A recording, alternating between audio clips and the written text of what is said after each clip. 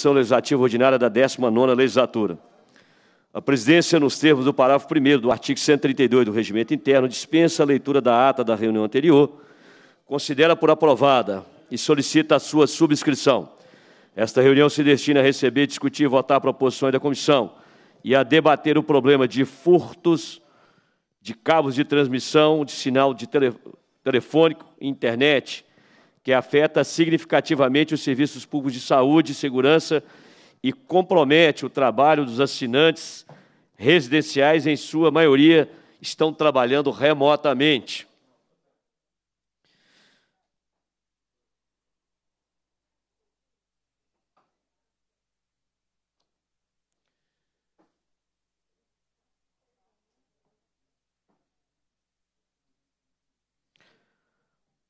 Presidência suspende os trabalhos por dois minutos.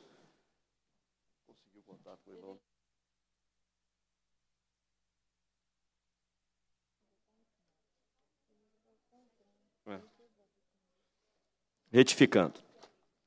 Passa-se a terceira fase da ordem do dia, compreende o recebimento, a discussão e a votação de proposições da comissão. A presidência, antes de votar aqui os requerimentos, convida a tomar assento à mesa dos trabalhos. Onde você botou aqui? O coronel Webster Vadim Passos Ferreira de Souza, comandante do Comando do Policiamento da Capital a primeira região da Polícia Militar.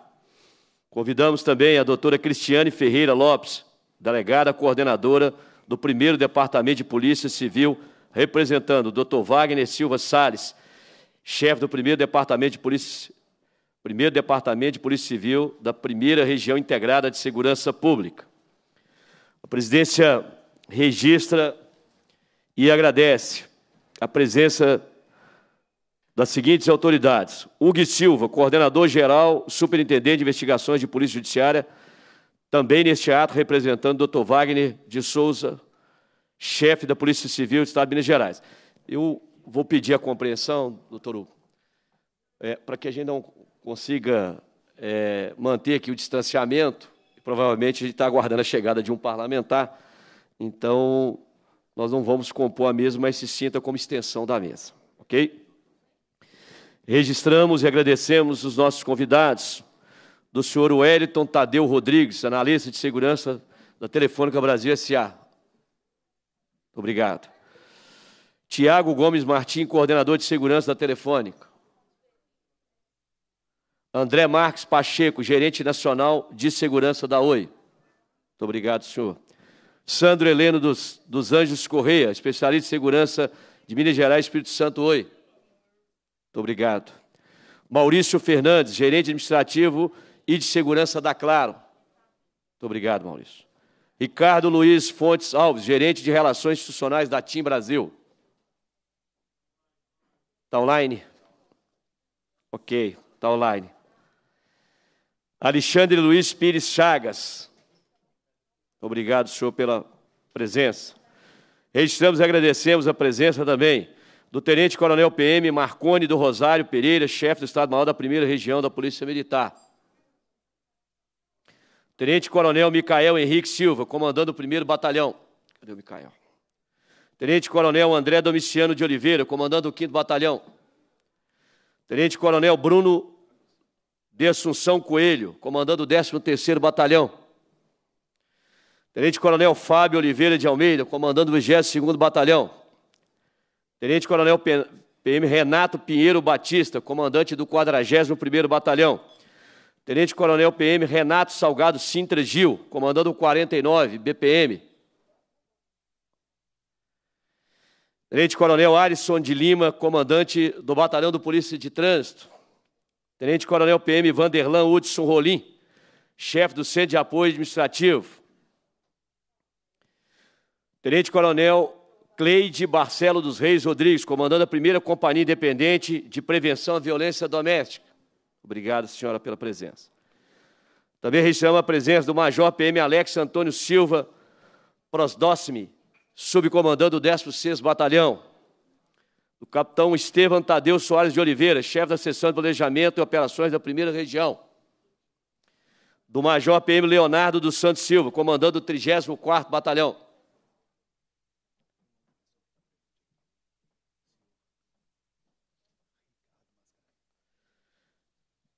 Presença do senhor Ricardo Mascarenha Lopes Cansado, gerente de Relações Institucionais da Vivo Minas. Muito obrigado, senhor Ricardo. Já esteve aqui conosco em outras ocasiões. Bom, acredito que eu tenha lembrado o nome de todos, né? Deixa eu ver aqui. Marcela Esther Silva Pimenta. Você? Mauro Júnior Lopes Francisco. Bom, agora sim, complementamos a todos. Temos aí o. Chegou? Já. Deputado João Leite, considerando que nós estamos na terceira fase da ordem do dia, temos aqui um requerimento muito importante, deputado João Leite, que é fruto do último debate sobre o sucateamento da Polícia Técnico Científica em Minas Gerais e é uma proposta da Comissão de Segurança Pública. E aqui também eu solicito a deputada Celis Laviola, registramos e agradecemos, ela que participou ativamente do debate sobre a questão da Polícia Técnica Científica. Nós estamos em permanente diálogo com o presidente da Comissão de Fiscalização Financeira Orçamentária, o deputado Eli Tarquínio, que também endossou a nossa iniciativa da Comissão de Segurança Pública. Portanto, o requerimento assinado pelos deputados Sargento Rodrigues, João Leite, Gustavo Santana e Celis Laviola, com o seguinte teor. Os deputados, que, os deputados e a deputada que subscrevem requerem a Vossa Excelência dos termos regimentais seja apresentado ao projeto de lei 2202 de 2020, que estima as receitas e fixa as despesas do orçamento fiscal do Estado de Minas Gerais e do orçamento de investimento das empresas controladas pelo Estado para o exercício 2021, emenda a ação 4025, gestão das unidades policiais, do programa 005, investigação para custear despesas de construção e reforma de unidades, bem como aquisição de frota e equipamentos destinados à Polícia Técnica Científica. Em votação, o requerimento. Cada um. Ele está aí? inclusive também com a presença do ilustre colega deputado Léo Portela, que também assina é, todos os membros da comissão, e a deputada Celisa Viola, mais o deputado Gustavo Santana. Uma importante emenda, fruto de desdobramento do debate aqui realizado em audiência pública. Como vota, e aqui registra a presença, agradecer a presença, o ilustre deputado Léo Portela.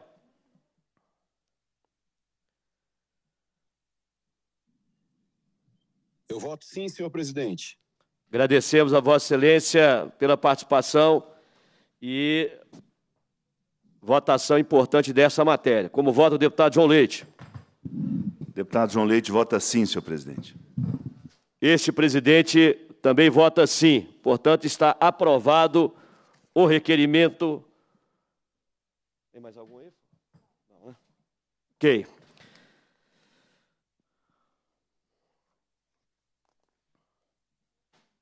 Passa-se a primeira fase da terceira parte da reunião, que compreende essa audiência pública.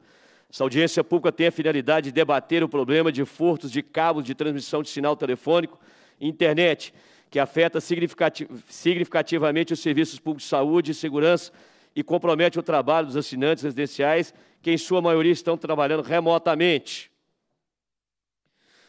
Deputado João Leite, isso não nos impede aqui de acrescentar, deputado João Leite, aqui alertando a nossa chefe do primeiro departamento é, e o coronel Webster sobre. Tudo bem. Registramos e agradecemos a presença da ilustre deputada Laura Serrano, a quem convidamos a tomar assento à mesa dos trabalhos. É, não aqui não impede de também fazer discussão dos furtos também de deputado João Leite, de fios de energia elétrica que também ocorre também com essa mesma intensidade e certamente as polícias deparam com isso o tempo todo, deputado João Leite. Então, é, a presidência é, esclarece que, tendo em vista a legislação em vigor, e especialmente a emenda constitucional federal 107 de 2020, Recomendo aos convidados e participantes de reuniões e eventos de qualquer natureza promovidos por esta Casa que evitem seus pronunciamentos a abordar de temas eleitorais ou que caracterizem pedido de votos. Esta reunião poderá ser acessada no portal da LMG e os requerimentos dela oriundos e seus desdobramentos poderão ser consultados na aba Desdobramentos, selecionando-se a comissão, o dia e a hora do evento. Feito o registro das, dos convidados e autoridades presentes, passo a palavra ao ilustre deputado João Leite para suas considerações, considerando também autor do requerimento. Vossa Excelência tem a palavra, deputado João Leite. Muito obrigado, presidente. Queria parabenizá-lo né, pela força desta comissão, é, especialmente pela representação aqui da nossa Polícia Civil, superintendente, a representação do Dr. Wagner e também a presença da nossa Polícia Militar fortemente aqui. É uma honra para essa comissão receber todos os comandantes né, da nossa região aqui de Belo Horizonte e também temos aqui a deputada Laura Serrano conosco também. Que bom. E rapidamente para que possamos ouvir aí a representação das empresas, não é?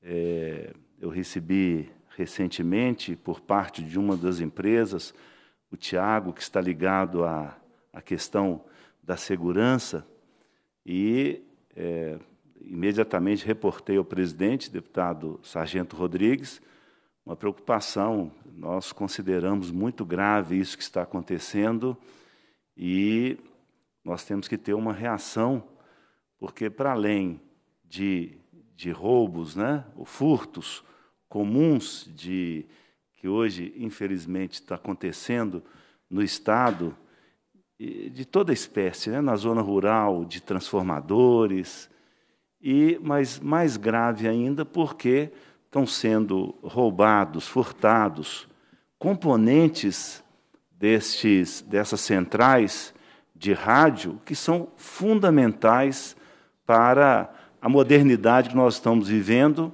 e dando às nossas polícias mais agilidade. Então, a comissão e o presidente tomou essa decisão dessa audiência e com esse apoio fortíssimo, não é, das nossas polícias, queremos agradecer e a Comissão de Segurança Pública, não é, representando a população de Minas Gerais, muito preocupada com essa situação. Né? Temos informações, infelizmente, de utilização desses rádios para é, uma pira verdadeira pirataria em relação a rádio, em relação a, a celulares, com um prejuízo imenso para a nossa população. Porque imagine, cai é, toda a internet de hospitais, de delegacias, de batalhões. É, o presidente da comissão fez muito bem, não é? Isso é um, uma questão de segurança para o nosso Estado e estão aqui os melhores. Né? O nosso superintendente da polícia está aqui, a representação do chefe, do chefe da polícia, estão aqui os nossos comandantes.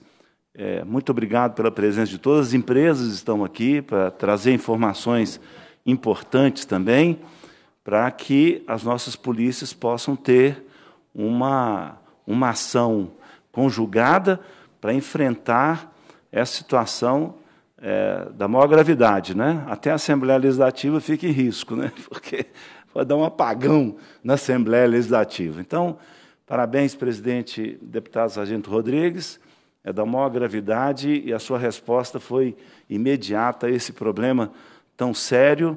E vemos aqui, pela presença da Polícia Militar e da Polícia Civil, é, o, o reconhecimento desse risco e também a responsabilidade né, do Estado é, de estar presente aqui. Muito obrigado, presidente. Agradecemos ao deputado João Leite. Deputado João Leite, indago a deputada Laura Serrana se deseja fazer alguma consideração. Vossa Excelência tem a palavra. Obrigada, presidente. É, gostaria de parabenizar o presidente dessa comissão por essa audiência pública, que, como já foi mencionado aqui, é de suma importância tem impactos diretos na questão da segurança, tem impactos diretos na questão também relacionada aos consumidores desses serviços. Quero parabenizar também o, o deputado João Leite, que também assinou o requerimento. E hoje aqui a gente está tra tratando mais especificamente da questão do, dos furtos de cabos de transmissão para sinal é, telefônico e internet. Mas eu gostaria até de incluir um outro ponto que eu considero importante, que é a questão dos furtos é, dos cabeamentos de cobre, muitas vezes relacionados à, à, à, distribuição de energia elétrica, e que, inclusive, é um problema extremamente recorrente no hipercentro de Belo Horizonte. É, eu venho aqui hoje, inclusive, para poder é, destacar essa preocupação grande que tem atrapalhado, inclusive, o setor produtivo do hipercentro da capital. Muitas vezes os comerciantes chegam para poder abrir suas lojas, não tem luz, o cabeamento foi todo roubado, toda essa parte de fios de cobre.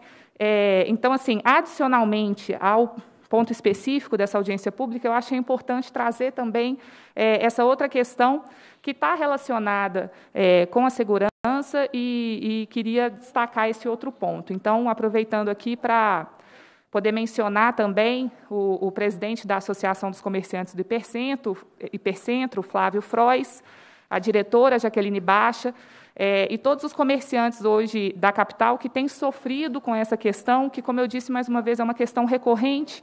A gente entende a complexidade de solucionar esses problemas, mas, ao mesmo tempo, é importante que a gente construa essa solução é, de forma mais sólida, para que não venhamos a ter tantos, tantos problemas no que tange essa questão aí, que, como eu disse, tem atrapalhado o setor produtivo é, e que a gente entende que não é uma questão só de segurança, apesar de ser, sem dúvida, uma questão importantíssima de segurança pública, mas está relacionada também é, com a prestadora, é, com os atrasos que, que a gente, às vezes, verifica quando ocorre a solicitação para resolver o problema logo depois do roubo e, e há uma demora significativa. Então, todos esses pontos eu só queria, senhor presidente, incluir, então, essa, esse outro ponto importante. É, entendo que ele é complementar à audiência que está sendo proposta hoje. Mais uma vez, eu parabenizo pela iniciativa e agradeço a presença de todos. Acho fundamental que a gente tenha é, esse debate, essa discussão conjunta para a gente poder chegar nas soluções. Né? Acho que mais importante do que,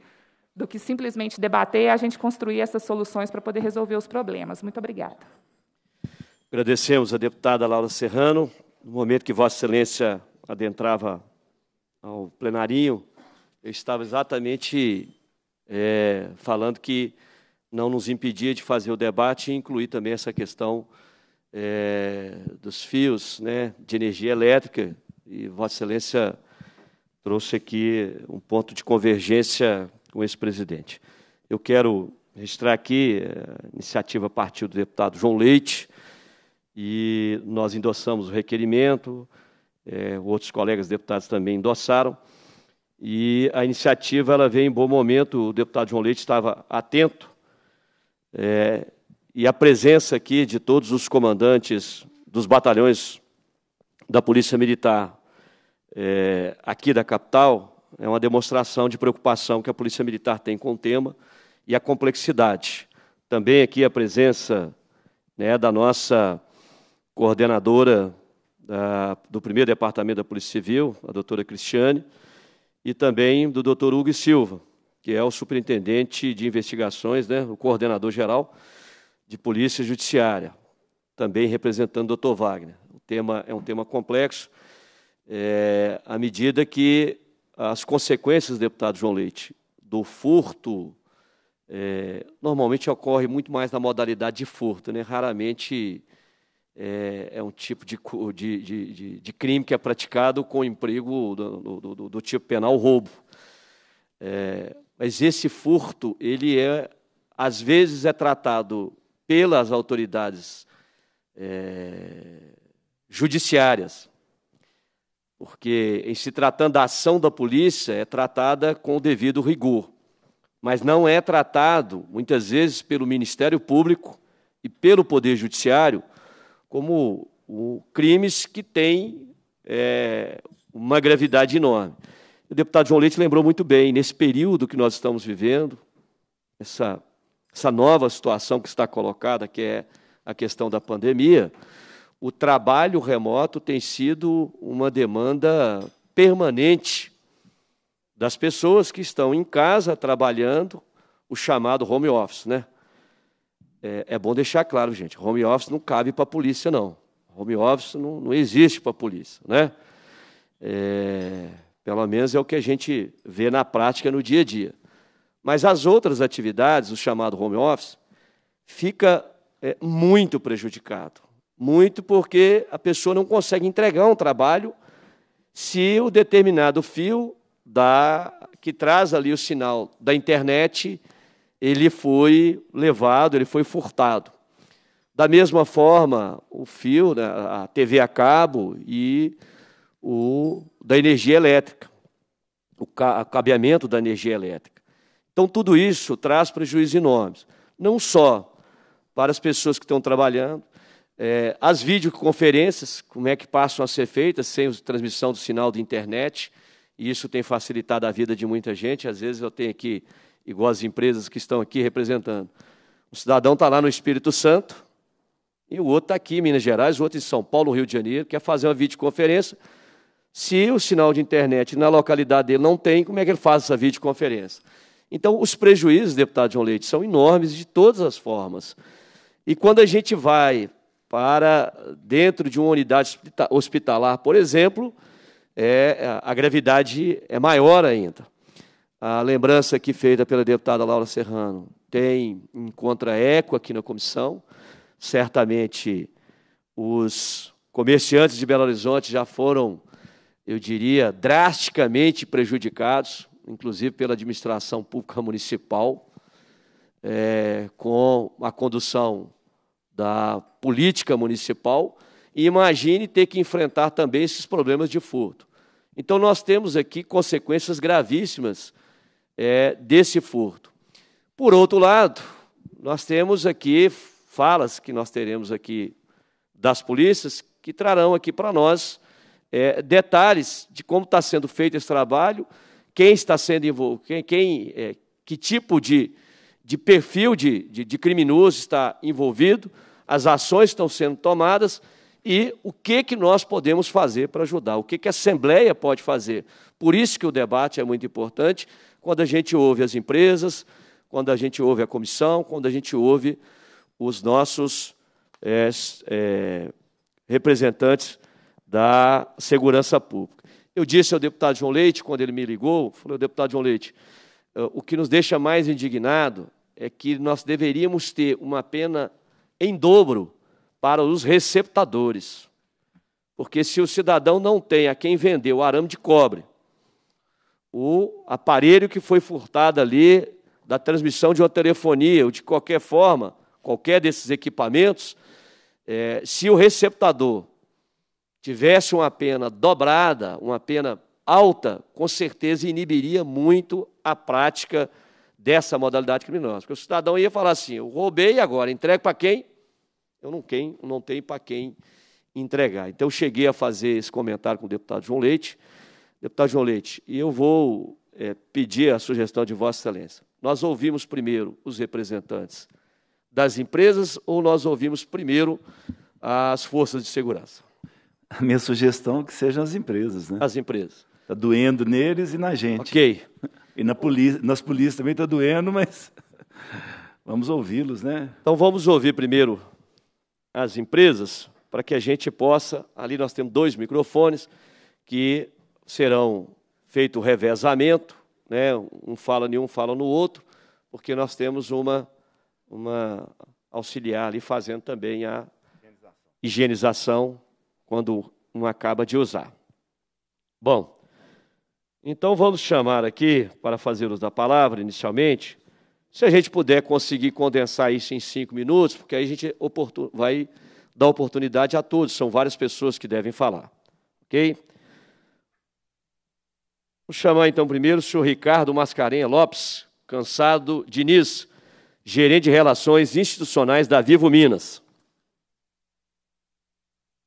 Rodrigo, você tem que ler, quem sabe ele usa aqui, Rodrigo.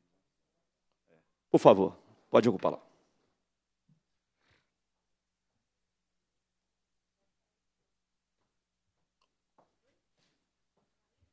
É, bom dia a todos. Tem uma apresentação que a gente preparou, eu não sei se a equipe vai disponibilizar. Eu...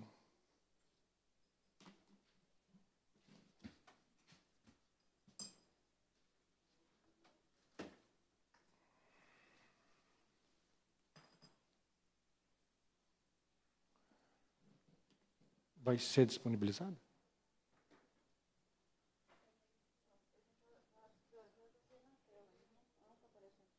Não, acho que nem lá também.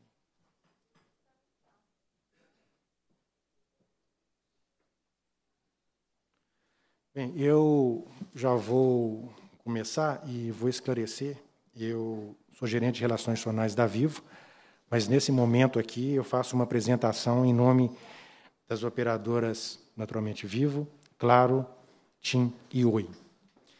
É, gostaria de começar agradecendo a iniciativa dessa audiência pública, é, o deputado João Leite, deputada, deputada Laura Serrano, deputado Sargento Rodrigues, Celis Laviola e o deputado Léo Portela, que parece que está de forma.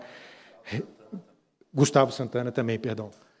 É, e agradecer a presença é, da doutora Cristina Lages, Lopes, perdão, e do coronel Webster Vadim de Souza. É, e neste momento eu quero abrir um parênteses particular.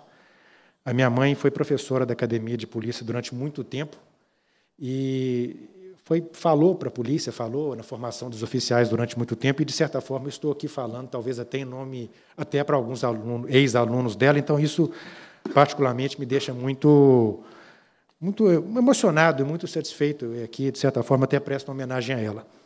É, vamos começar aqui com algumas explicações que eu gostaria de fazer.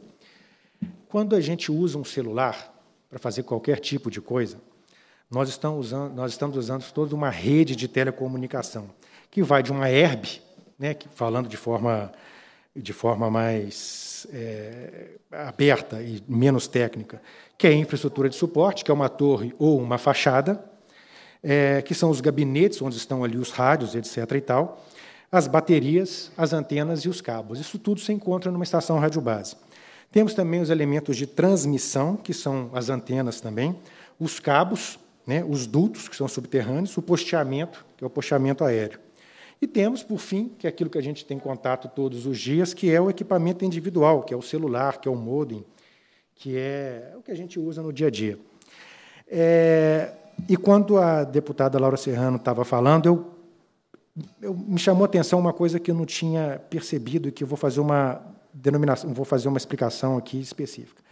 Mas quando qualquer um desses equipamentos, quando o seu telefone celular, quando um cabo, quando um equipamento de rádio, ele é furtado ou roubado, o impacto é muito maior do que patrimonial. O impacto é para a cidade inteira, é para a população inteira. A pessoa deixa de ser um consumidor naquele momento, de certa forma, para ser um cidadão violado um cabo que é roubado a 30 quilômetros de distância daqui, uma, um rádio que é furtado numa, numa herb que está a 50 quilômetros daqui, impacta diretamente onde eu estou. Então, infratelecom não é apenas um rádio, um cabo, um telefone celular. Infraestrutura de telecomunicação é educação, é segurança pública, é saúde, é comércio, é indústria, é empreendedorismo, é meio ambiente, é cultura. Tudo isso passa por telecomunicação.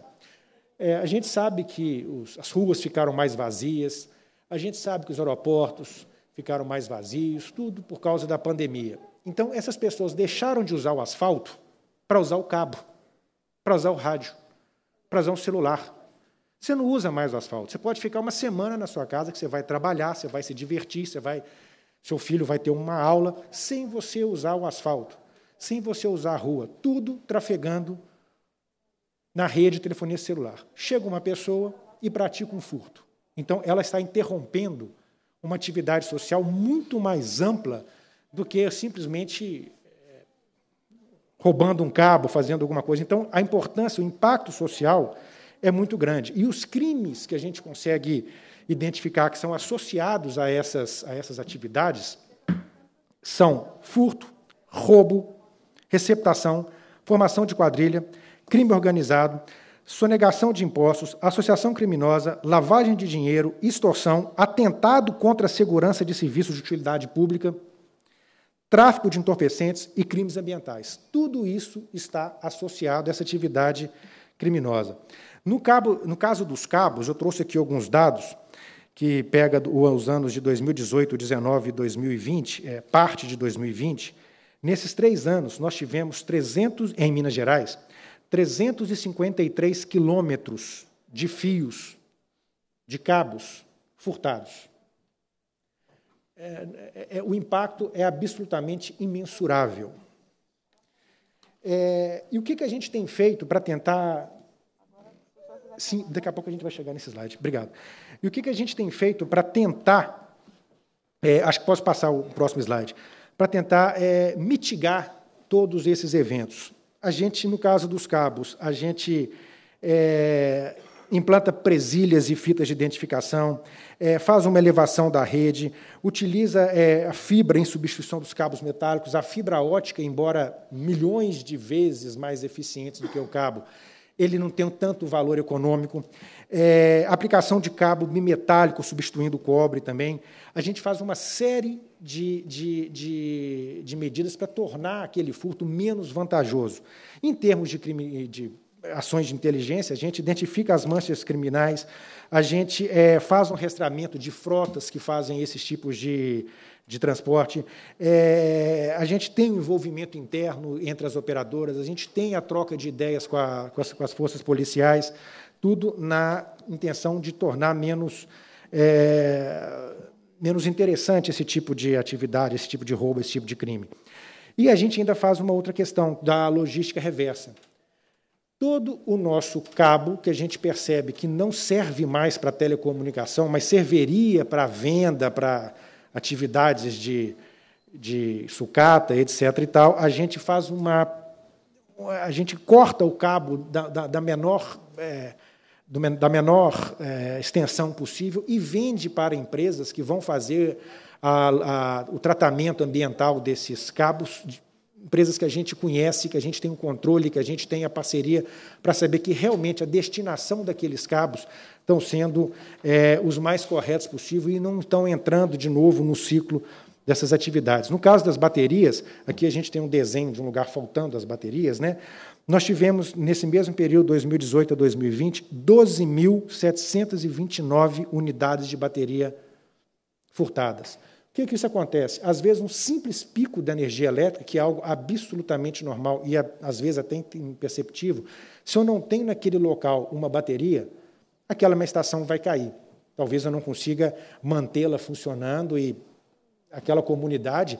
E, uma, e uma, um parênteses que eu abro aqui, às vezes, se eu tenho, se eu perco uma estação radiobase aqui em Belo Horizonte, a gente consegue continuar falando, porque são várias e várias e várias e várias antenas.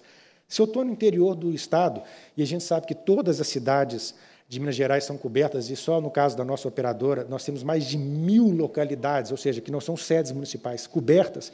Se eu furto ali uma antena, se eu furto ali um cabo, se eu furto um rádio, a comunidade inteira vai ficar sem falar.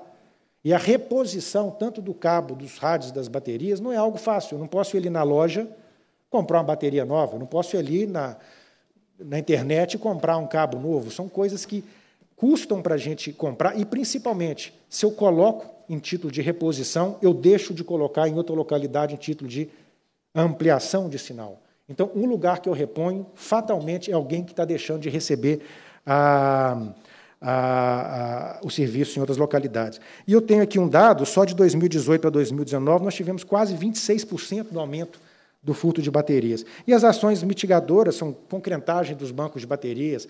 A gente coloca resina nas baterias para tornar mais pesado, ou seja, passa a ser 120 quilos um, um bloco de bateria, é, é, sensores e alarmes, é, novamente contato com a polícia civil, contato com a polícia militar, levantamento de, de, de, de frota de, de transporte. Então, tudo que é possível fazer em termos de inteligência, em termos de é, é, é, equipamentos físicos e tratamento físico, é feito.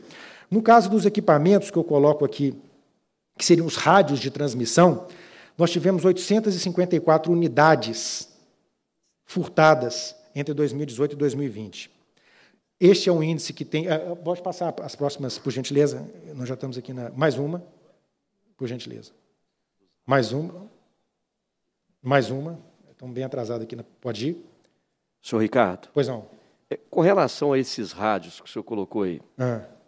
é, o senhor sabe qual que é a destinação do produto do furto? É, para onde é mandado? Para quem, quem que faz essa receptação? A empresa consegue identificar isso? Olha, é, eu vou abrir aqui um pensamento.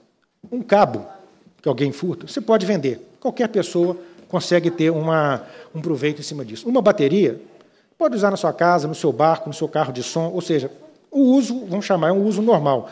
Já o equipamento, o rádio e a, e a, e a, e a antena, você não tem uma utilidade normal, doméstica. Aquilo só serve. Você não pode vender aquilo por sucata, custa 350 mil reais, às vezes, um rádio. Você vai é, é, usar aquilo estritamente para que ele se propõe, que é prestação de serviço de telecomunicação, transmissão de dados.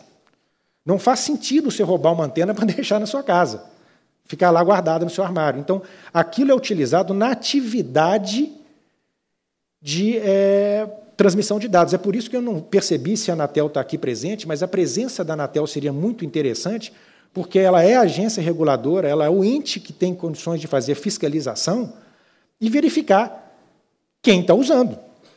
Eu não vou, posso aqui nominar fulano, beltrano aqui ou ali, mas ninguém usa antena de abajur. Ninguém usa uma, um rádio de, de, de transmissão de dados para é, colocar papel em cima. Isso é para transmitir e para prestar serviço de telecomunicação, transmissão de dados, sobretudo. É, é, é, essa é a pergunta do senhor, extremamente pertinente, porque este. Poderíamos dizer, então, que poderia ser utilizado uma rádio pirata?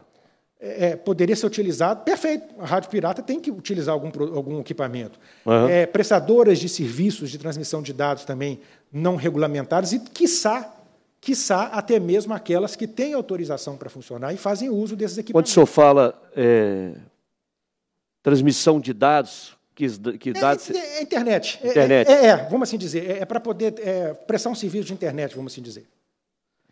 Vamos então aqui fazer uma, um paralelo com o Rio de Janeiro, por exemplo, que lá existe a chamada gatonete.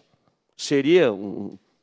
Mais ou menos isso. Mais ou menos a, a, isso. A gente pode considerar isso também. A gente pode considerar isso também. Então, caberia às forças policiais e caberia também à agência reguladora para fiscalizar aqueles que são regulares né, e a força policial para fiscalizar aqueles que são irregulares. Regulares que eu falo é quando tem o credenciamento junto à Anatel. A pergunta do senhor fecha exatamente todo o ciclo. Basicamente, o senhor ah, terminou com a minha apresentação aqui, porque é, é essa a, a, a grande, a, a, a nossa grande dor. Está indo para onde? Como eu disse, bateria, você pode colocar num barco. O barco funcionar, num carro de som. Cabo, você vende ali para um ferro velho, alguma coisa nesse sentido, e toca a vida. Agora, você vai fazer o quê com, com, com uma antena de. Você tem de, é, chega, porque a tecnologia está avançando muito. Né? É, é, os valores são, eu não tenho não sou da parte de compras da empresa, mas os valores são substanciais, principalmente, como eu disse aqui, se eu multiplicar por 800 e 54, que foi o número de ocorrências entre 2018 e 2020. E o que mais me, me, me intriga, é, eu estou sempre aqui na casa, o senhor me conhece, o deputado, deputado, a quantidade de ofício que eu recebo pedindo para melhorar o sinal ou para aumentar a cobertura. Como que eu vou aumentar a cobertura de uma localidade se eu tenho que suprir aquela que teve a, o rádio roubado ontem? Como é que eu faço isso? É, que tamanho é esse equipamento? São, é, tem algumas fotos aí, é, não é apenas um, não é uma, um único um único material, um único equipamento, uma, uma, um único produto. São vários outros. Aqui tem uma foto, um gabinete, depois eu deixo com o senhor, que a pessoa simplesmente vai lá, sabe quais são, sabe para que serve, e um ponto também que eu gostaria de colocar aqui. Ninguém furta uma coisa daqui. Se eu quero furtar um celular, uma carteira, eu consigo dar uma destinação tranquila, mas ninguém furta este equipamento sem já ter toda a cadeia de, de, de, de comercialização, entre aspas, comercialização, já definida. Eu não compro para poder ir ali numa praça no interior da cidade tentar é, vender. Eu compro porque já tem alguém interessado em comprar. Então, é, até o momento de proteger nossos equipamentos, de proteger a nossa, a nossa infraestrutura, nós estamos aqui fazendo o possível. A partir do momento que aquilo entra no, no, no ambiente, no, no, na, no, edifício de alguém, numa, numa estrutura de uma outra pessoa, eu não posso ir lá simplesmente e retirar. Né? E as pessoas são realmente entendidas sobre essa. É, é um crime altamente especializado, isso é que eu quero dizer. Altamente especializado. Mas, é, sem querer me estender muito, na questão aqui, é, já pode passar até a próxima, a próxima, as próximas apresentações, por gentileza. Por gentileza. Por gentileza, mais uma. Mais uma. Exatamente. É, a gente faz todo o empenho para tentar tornar mais difícil o furto, a ponto de, se a pessoa for furtar aquele equipamento, ele vai acabar vandalizando. Mas aqui nós temos um quadro onde existem os principais, é, os, os, municípios com, principal, com, com os maiores números de ocorrência. De cabos, que eu faço aqui também uma menção ao, ao que a mesa mencionou antigamente, é, é, antes, algum, tempo depois, algum tempo antes. Cabo serve também para energia elétrica, naturalmente, né? principalmente o cabo de cobre, o de fibra elétrica, o de fibra ótica não. Mas nós temos aqui Belo Horizonte, Contagem, Divinópolis, Governador Valadares e Betim, e no caso aqui de Cabos, Belo Horizonte, Contagem e Betim, ou seja, na região metropolitana de Belo Horizonte. Chegamos, às vezes, a ter cinco ocorrências, oito ocorrências por noite. Temos toda uma equipe para tentar mitigar, só que às vezes o reparo eu não vou conseguir fazer em meia hora. O reparo eu não vou conseguir fazer em um dia. O equipamento eu não vou conseguir ter disponibilizado em três dias. Então, o impacto é muito grande. Bateria também, contagem, Belo Horizonte, Uberlândia e Pouso Alegre. Equipamentos, placas, roteadores, que é esse para transmissão de dados, que eu chamo aqui de, de, de equipamentos. Né? Nós temos aqui Uberlândia, Uberaba, o Triângulo, Belo Horizonte, Contagem, novamente a região metropolitana, e, por fim, Juiz de Fora, são os cinco mais é, ofensores. Por gentileza, a próxima. É, o que, que a gente propõe, o que, que a gente vê nisso tudo, o que, que a gente aprendeu? É multidisciplinar. Né?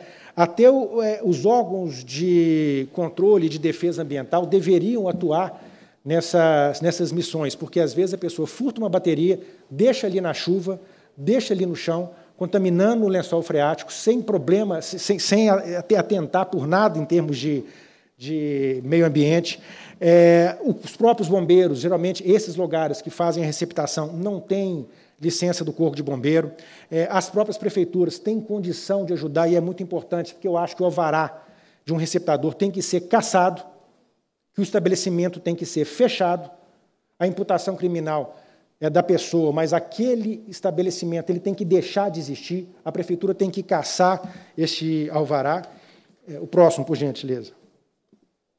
E a gente sempre prega a, a, a sinergia, que é estabelecer um contato direto com, delega, com as delegacias especializadas, é, fazer operações sistêmicas. Não adianta a gente fazer uma operação e depois de algum tempo abandonar, a polícia não seguir com aquela, com aquela, com aquela métrica, com, aquela, com aquele procedimento. E aqui eu quero fazer, é, deputado, só um instante aqui, eu queria fazer, antes que eu me esqueça, uma, uma eu até encaminhei um ofício para, para o senhor, é, uma operação que teve no final do mês passado, da Polícia Civil, que apreendeu uma quantidade, foi noticiado em tudo que é tipo de imprensa no Brasil inteiro, no Brasil inteiro saiu, uma quantidade absurda, as fotos são impressionantes, parece que você está chegando numa central de distribuição, um lugar maior do que esse, com todo tipo de equipamento.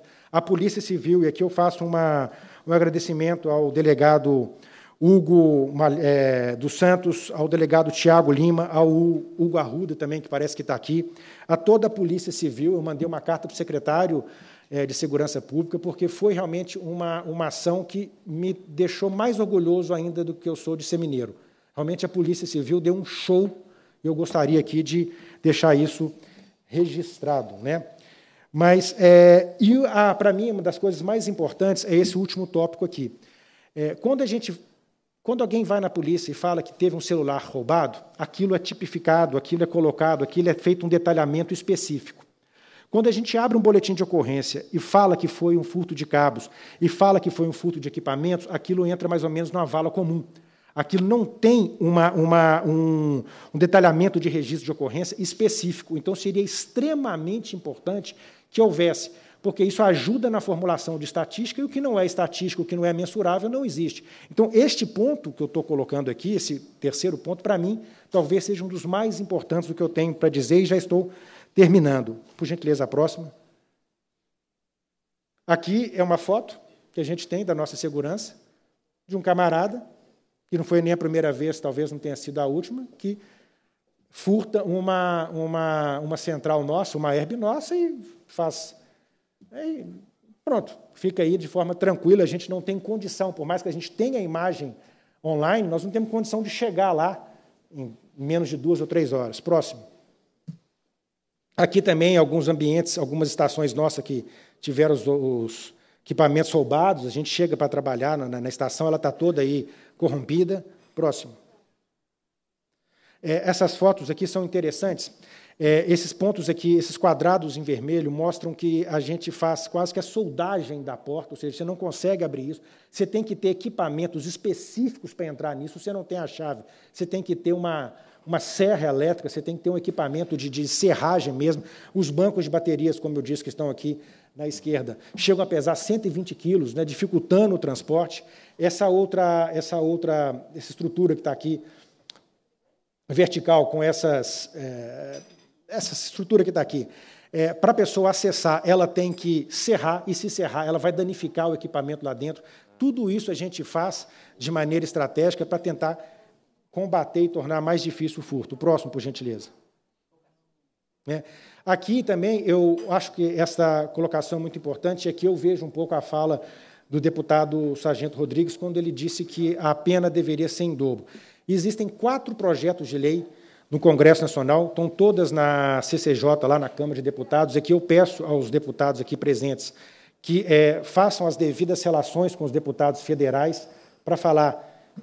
É, são estratégicos esses quatro PLs, né?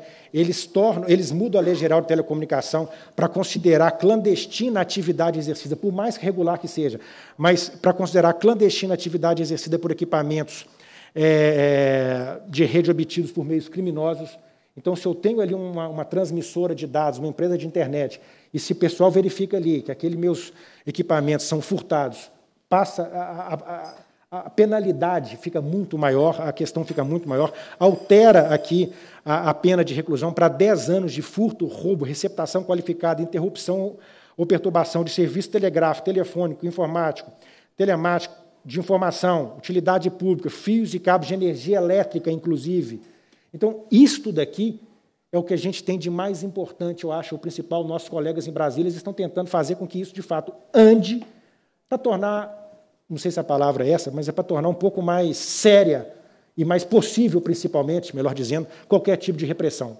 Senhor Ricardo, até pedir à assessoria que já imprima essa, esse slide, porque ele já, já compila, inclusive, o entendimento da nossa fala inicialmente é, à Comissão de Segurança Pública, nós vamos produzir aqui um requerimento, e eu vou pedir aqui à nossa consultora que não faça um requerimento muito resumido, não, é, escreva, faça um detalhamento maior, para que a gente possa oficiar todos os deputados federais e senadores do Brasil em relação a essa matéria, viu, deputado João Leite? Porque talvez a gente faça todo o debate e um dos principais pontos, né, Obviamente que nós vamos tentar aqui ver o que, que nós conseguimos em termos de legislação estadual. Nós temos aqui. O que, que nós podemos é, complementar, auxiliando as polícias civil e militar e também as empresas de, que prestam esse tipo de serviço para é, que a gente tenha condições de também dar uma resposta aqui no âmbito estadual. Ok? Exatamente. Era isso que eu tinha para falar. Estou aberto aqui a qualquer pergunta. Agradecer mais uma vez a iniciativa. Já tive aqui várias vezes para tratar de outros assuntos mas este é muito importante, permeia pela Comissão de Defesa do Consumidor, estive com o deputado Bartô para falar com ele sobre a importância disso também. Boa parte das nossas reclamações, responsabilidade objetiva nossa, sem dúvida alguma, mas não tem como eu colocar a minha rede toda numa, numa bolha para tornar completamente inviolável. Então, a gente faz o possível, mas a repercussão, eu repito, é social. Okay. Joãozinho. Vossa Excelência tem a palavra, a que Vossa Excelência desejar. Tá bem, obrigado. Vossa Excelência é o nosso decano aqui. ó. Ah, é? É, Parabéns. Ele é o, de- é o deputado com. É ele e mais outros três deputados com sete mandatos na casa. Ah, parabéns. É, eu queria era saber, assim, é, o senhor fez aqui um elogio à Polícia Civil, não é mesmo? É, por uma operação, o senhor não deu muitos dados da operação, talvez até para É. ter um cuidado, mas eu queria saber era a relação das empresas com as polícias. Dado o prejuízo que as empresas estão tendo, né, é um- algo assim monumental né, de prejuízo, né? É, se é, tem um- uma mesa, um entendimento com as nossas polícias para, é, de alguma forma, é, até dar mais conhecimento para a nossa polícia, até estruturar a polícia em relação as polícias em relação a combater este esse crime gravíssimo, não é? Mas que muitas vezes é, falta é, um pouco de conhecimento, né, de que estruturas são essas. Nós estamos vendo, infelizmente, nós temos 13 mil pessoas morando nas ruas de Belo Horizonte. É, isso aí é um, a gente não sabe o que, que é. Agora, me parece que nós temos aí também um crime mais organizado, né, com os receptadores certos, esse rádio, é, 350 mil reais. Então, eu queria saber é, se as empresas têm se reunido com as polícias e, de alguma forma, dar conhecimento para a ponta das polícias, para aqueles que estão nas ruas. Né? Muitas vezes é um, é um tenente, é um, é um sargento, é um cabo, é um soldado. É, se aos comandantes está chegando essa demanda das empresas e esse prejuízo monumental que não só as empresas estão tendo, mas o Estado de Minas Gerais está atento com o corte de comunicação que afeta as nossas polícias, afeta eh, a saúde, afeta todos, né? Então, essa é a pergunta. Como tem sido essa relação que me parece ser fundamental e até recursos para que a polícia possa atuar eh, mais fortemente na ponta, não é? Eu creio que se for dado esse conhecimento, se for dada uma estrutura, para além de conhecimento, até estrutura física para as nossas polícias, poderia perfeitamente minorar não é, este prejuízo monumental das empresas e do Estado. É, primeiramente, é, só para esclarecer, é, é um prejuízo para a empresa, mas falando de forma muito sincera mesmo, a gente vê isso como uma pena, como uma assim, é um prejuízo para a sociedade. Sabe? Isso de fato é uma coisa é alguém furtar um automóvel da empresa, alguém furtar um, um celular numa loja, tudo bem, mas vamos lá, isso aqui é social. O impacto, feito eu disse, é, as pessoas vão deixar num dado momento de usar o asfalto ou usar muito menos o asfalto para usar o cabo. Então, é realmente muito importante isso. Mas no Brasil como um todo, e em Minas Gerais como especial, as nossas empresas eh, e os seus respectivos profissionais da área de segurança têm sim a interação e a sinergia com, a, com as polícias para poder, tanto investigativa quanto repressiva, para poder eh, nutri-las de informação, nutri-las de, eh, de, de inteligência no sentido de como identificar como verificar eh, quais são os possíveis locais que, onde poderia haver a receptação. Então, isso ocorre. Naturalmente, a tendência é de ocorrer cada vez mais, mas, sem dúvida alguma, a gente precisa, para que isso ocorra, é que realmente aí o Estado, ou cada Estado da Federação, mas no caso o Estado de Minas Gerais, leve isso com a maior eh, sensibilidade possível para poder prover as polícias dos devidos recursos para operar neste sentido, para combater esse crime que é, é, é, isso é crime mais do que organizado. Isso não é crime organizado, não. Isso é crime mais do que organizado. Então, realmente precisa de recursos, precisa de informação, e nesse sentido a gente dialoga com as polícias para poder passar as nossas percepções. Isso é muito importante. A pergunta do senhor é extremamente oportuna. Senhor Ricardo, é, quero insistir. Eu estou falando em estratégia. A gente tem né? a polícia é, a Comissão de Segurança Pública acompanha. Né? Ela tem uma demanda monumental. Os nossos policiais, empregados aí nas ruas e, e nas investigações, né? está sobre os ombros das, das nossas polícias o combate ao tráfico de drogas, né, que, que consome os nossos policiais. Eu estou falando de estratégia, não é? Uhum. Quer dizer, é, as nossas empresas são empresas é, muito competentes uhum. E que poderiam perfeitamente dar instrumentos na ponta. As polícias têm um georreferenciamento feito pelas nossas polícias de locais. Onde é que está esse rádio? Não é? Uhum. Então, poderia perfeitamente dar essa condição para a polícia. Poderia dar uma estrutura de comunicação também nos carros das polícias para é, a polícia ter mais condição. Eu estou falando de algo que os nossos policiais entendem muito bem, estratégia. Né? Até agora nós temos uma tática para um jogo aí, mas a estratégia não temos ainda. Eu queria era o senhor que é filho de professora da academia de polícia, de polícia é, pergunta para ela, né? Tem que dotar esses nossos policiais para que eles tenham condição. É, do, do Ricardo, John Leite. a demanda é muito forte sobre a polícia, ela precisa de apoio. É? O Estado tem 853 municípios, a polícia está em todos os municípios, está em 200 distritos. Né? Então, é, eu, eu creio que tem que ter uma colaboração aí, que o Estado também não vai dar conta disso tudo. Mas é tão importante para a sociedade, é importante para as empresas também, que estão tendo um prejuízo, não é? que a gente não quer que tenha. Mas o que eu estou apelando para o senhor e para as outras empresas que estão aqui, não é? de aproximar da das polícias e dar condição para elas. Pois não, deputado. Eu quero trazer aqui é, a todos é, o que o deputado João Leite está tentando traduzir na prática foi fruto de uma lei de nossa autoria. Eu e o deputado João Leite visitamos o Centro de Inteligência e Segurança do Itaú Unibanco, em São Paulo. Fizemos uma visita com a Comissão de Segurança Pública. E depois de entender todo o funcionamento e de lá produzir um relatório, é, aportamos aqui um projeto de lei, deputado João Leite, onde a transmissão das imagens deveria ser feita em tempo real, quando as agências de banco fossem atacadas, para a Polícia Civil e para a Polícia Militar, disponibilizadas imediatamente. Aprovamos a lei, eles entenderam a necessidade, entenderam a, a, a necessidade dessa parceria, e assim foi feito. Então, o que o deputado João Leite está trazendo aqui é que as empresas podem né, também encontrar uma forma, uma estratégia de contribuir com as forças policiais, é, facilitando muitas vezes informações, é, imagens, é, algo que possibilite uma tomada de decisão mais rápida pela polícia para coibir, para prevenir o crime e para reprimir o crime.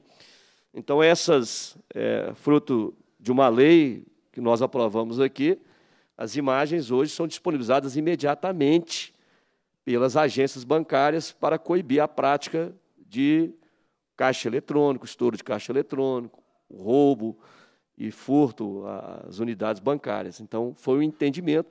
E a comissão fez essa visita lá. E depois que nós trouxemos essas informações e o, a pessoa que eu não estou mais me recordado quem era, deputado João Leite, o responsável, nos mostrou em tempo real. Ele falou: vou abrir aqui o um mapa de Minas Gerais. A coisa era tão, tão sofisticada que eu mesmo fiquei meio impressionado, porque estava parecendo mais aquele Stark né, do, do, do filme lá, Homem de Ferro, que ela abria a tela daquele jeito. E abriu o Estado de Minas Gerais e mostrou: olha, nesse momento tem uma luz vermelha, uma amarela piscando aqui, ó tem um alarme. Aí ela abria a agência bancária no município aqui em Belo Horizonte, numa tela. Então eles tinham essas imagens o tempo todo. E à medida que elas eram disponibilizadas rapidamente pela, para a polícia, isso facilitaria o trabalho. Nós voltamos de lá, apresentamos o projeto de lei, a lei foi sancionada e, durante o início deste governo, ela foi, inclusive, no início desse governo, ela foi é, regulamentada e colocada em prática, as polícias sentaram e trouxeram. Então, o deputado João Leite, estou dando esse exemplo, o deputado João Leite está, é, ao meu ver, é, provocando que vocês possam também pensar como auxiliar, como ajudar nessas informações chegando mais rápido para as forças. Perfeito, deputado Sargento Rodrigues. Eu queria lembrar que o contato da Febraban aqui, só me fez ficar emocionado, é o Edmar Campos, filho do saudoso presidente do Clube Atlético Mineiro, campeão brasileiro, Nelson Campos. Por favor. Senhor Ricardo, o senhor poderia concluir que o, o assunto estava assim tão bem, mas aí, né, estrambelhou. Eu... O senhor poderia concluir, porque nós temos vários não, não, não, convidados é aqui. Exatamente isso, é agradecer. Essa, essa, essa recomendação, essa dica será, será levada, já, está, já é levada em consideração, então, pela nossa equipe de segurança, as respectivas interações são feitas com as forças policiais, de maneira a viabilizar, acho que o rastreamento de qualquer tipo de atividade que ocorre. Lembrando uma diferença entre atividade bancária, são algumas agências bancárias, nós temos aí milhares e milhares e milhares de estações radiobase, mas sem dúvida alguma existem aquelas que são mais estratégicas, são as concentradoras, que encaminham o sinal para várias outras, que com certeza isso pode ser, eventualmente, melhor dizendo, replicada no nosso ramo de atividades. Muito obrigado. Um grande abraço a todos, é, espero que tenha cumprido bem aqui a minha, a minha função. Obrigado, deputado, obrigado, deputada, deputado, ao ao pessoal da Polícia Militar, que muito nos orgulha, a Polícia Civil, tenho alguns amigos também na Polícia Civil, então me sinto muito, muito feliz de estar aqui falando para vocês também, para os senhores também. Muito obrigado. Obrigado, senhor Ricardo. É bom que o senhor está tendo uma nova experiência né, com a Assembleia. É, nós já tivemos em outras cobrando arduamente das empresas, né, para o senhor perceber que nós cobramos em determinado momento estamos dispostos a contribuir e a somar em outros momentos. É bom o senhor ter essa experiência hoje já enriquecedora aqui, e propositiva. Já vim aqui com essa certeza. Muito obrigado. Obrigado, viu? Convidamos para, se alguns dos senhores que a gente for convidar aqui para fazer uso da palavra, já se sentir é, atendido na fala do senhor Ricardo, para nós tudo bem, ok? Porque ele fez uma explanação maior e eu percebi que ele fez uma explanação bem mais abrangente. É... Convidamos aqui o senhor André Marques Pacheco, gerente nacional de segurança da Oi. O senhor fica à vontade. Se o senhor quiser fazer o uso dali ou aqui embaixo também, pode ficar à vontade. Só vamos agora né, apertar mais o prazo. Bom dia a todos. Bom dia. É, vou falar rapidamente aqui, que eu acho que o Ricardo já representou bastante e já falou exatamente o que a gente pensa aqui do, do assunto. Mas eu queria ressaltar um pouco a questão que ele falou muito bem também da questão social, né, do impacto social desse tipo de crime. Né? Hoje, grande parte das pessoas da comunidade está em casa e depende do home office, né, e depende da transmissão desses dados, depende da internet. Né? E, e, uma paralisação, um furto desse, um furto de cabo, um furto de rádio ou de um roteador, que paralise toda a internet e para também o trabalho dessas pessoas. Né? Então, são pessoas que estão desassistidas em casa, né? são hospitais que podem parar, são polícia pode parar, bombeiros, a própria Assembleia Legislativa pode parar. Então, o impacto social é muito grande nessa questão. Né? A gente nem fala mais do impacto financeiro, porque não faz muito sentido mais para a gente a gente falar só da questão financeira. Né? Porque é, é aquela questão, financeiro pode ser o furto de um celular ou um furto é, de um equipamento que só atenda a operadora, ou um carro, um veículo, mas o impacto social é o que é importante nessa questão. Então, assim, eu queria ressaltar esse aspecto. E, assim, uma coisa que a gente vem observando, eu sou do Rio de Janeiro, né, e é, sabe que o Rio de Janeiro, a questão de violência é uma questão maior até do que a que a gente convive aqui em Minas. Né? E no Rio de Janeiro a gente tem um problema muito sério com o furto de cabos, que ele vem se ampliando dia a dia, e a questão dos usuários de droga também, né? que são os maiores é, autores e os praticantes desse tipo de furto. Né? E a questão do usuário de droga no Rio ela já é uma coisa meio é, já totalmente sem controle, né? Onde você vai, você vê o usuário de droga, você vê o usuário de crack. Esse é o cara que furta os nossos cabos, que pega o cobre, não só nós, como de energia elétrica também, como disse a deputada aqui também, né, e vendem isso nas sucatas, né, é, que são os receptadores. Então, assim, o grande objeto, e eu acho que é o marco dessa reunião aqui que a gente deve fazer, é um foco maior na questão da receptação, né? aumentar a penalização para esses receptadores, né? ter uma fiscalização mais efetiva dos órgãos de polícia, não que não, não que não seja feita, porque, até porque a gente tem muita parceria com esses órgãos, então, é, mas intensificar mais, aumentar a penalização em cima do receptador. Esses projetos de lei que foram apresentados aqui são muito importantes, que eles sigam à frente, que eles realmente produzam leis com uma efetividade maior. Né? Então, é, hoje, no Rio de Janeiro, a gente já tem algumas outras situações que a gente vê né, e convive, da questão do poder paralelo também. Né? A gente tem localidades que a gente nem consegue mais entrar para atender. Né? É, é, são locais, localidades que a gente tem impedimento de acesso. Por quê? Porque são comunidades onde está sob controle de milícia, onde está sob o controle de tráfico, dos traficantes. E nessas comunidades, eles não querem a concorrência das operadoras, porque eles têm o provedor clandestino. Né? E eles têm o provedor clandestino por quê? Porque eles furtam os nossos equipamentos.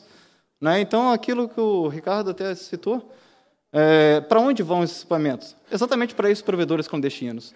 Né? Então, é uma situação é, é, um, é, uma situação de bola de neve que, às vezes fica difícil de controlar se a gente não tiver um basta e não tiver um, um em algum momento dar um, dar um paralisar esse tipo de situação, né? Porque para não chegar numa situação que hoje a gente já está convivendo no Rio de Janeiro, né? Que é uma questão de poder paralelo, impedimento de acesso, de você não poder prestar o serviço né, de não querer, de não poder prestar o serviço. Então, esse é um momento importante para aqui para Minas Gerais. Eu acho que essa reunião aqui pode ser um marco de mudança completa nessa questão e de a gente dar mais, é, não vamos dizer atenção, que isso é uma palavra forte, mas para a gente dar mais um certo cuidado né, com esse aspecto do furto dos equipamentos de telecom. Era isso que eu queria falar.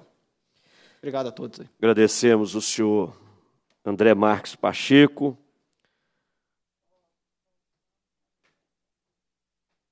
Convidamos o senhor Maurício Fernandes, gerente administrativo e de segurança da Claro.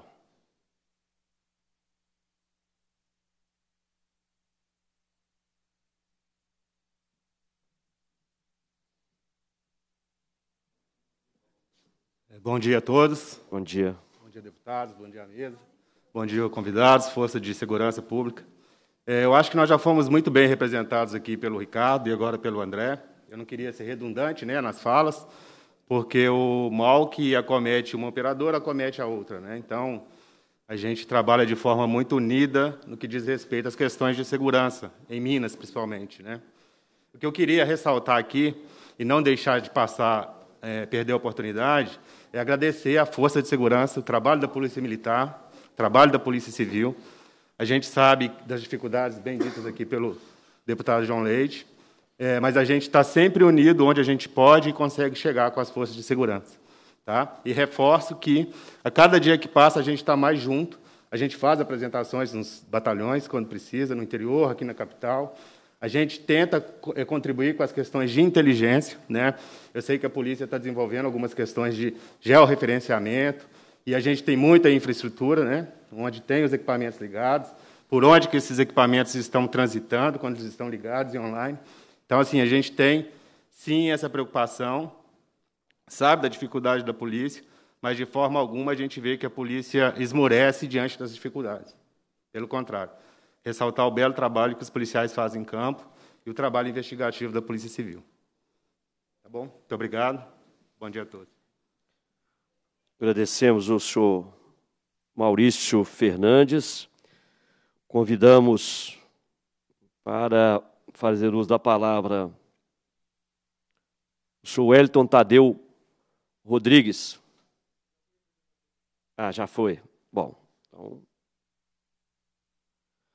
O Tiago Gomes também já foi representado? Já.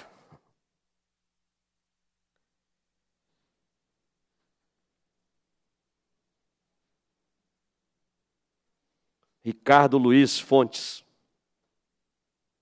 É o que está online? Bom, verifique, vamos verificar aqui. Sou Ricardo Luiz Fontes Alves, gerente de relações institucionais da TIM Brasil. Seu microfone já está liberado. Perfeitamente. Deputado, primeiro queria agradecer essa oportunidade da gente poder expor é, efetivamente quais são os percalços que a gente tem dentro dessa questão do furto de cabeamento e dos demais equipamentos da, do sistema de telecomunicações. É, a apresentação acho que foi muito esclarecedora nesse sentido.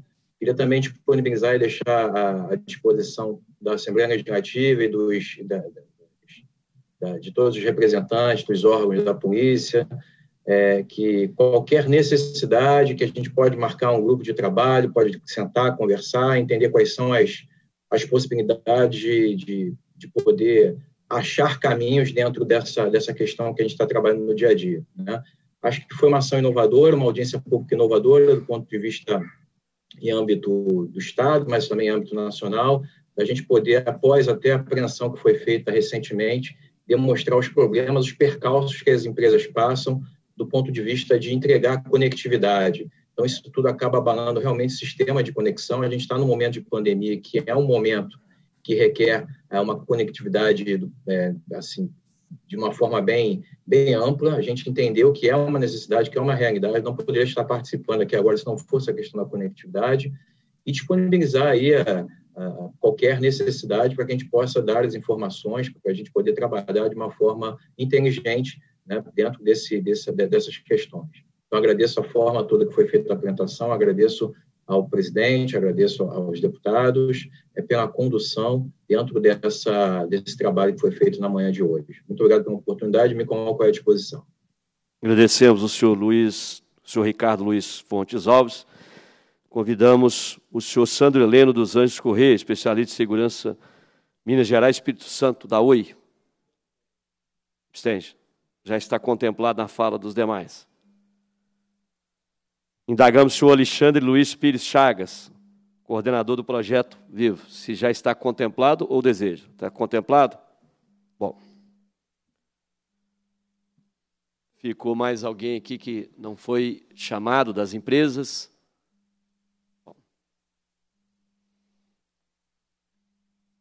Bom feito aqui eu já sabia, por isso a gente deixou aí o senhor, o senhor um tempo maior, fez uma explanação maior e aí conseguiu, o senhor Ricardo Mascarenhas conseguiu, de certa forma, contemplar é, as falas dos, dos demais. Vamos convidar o coronel Webster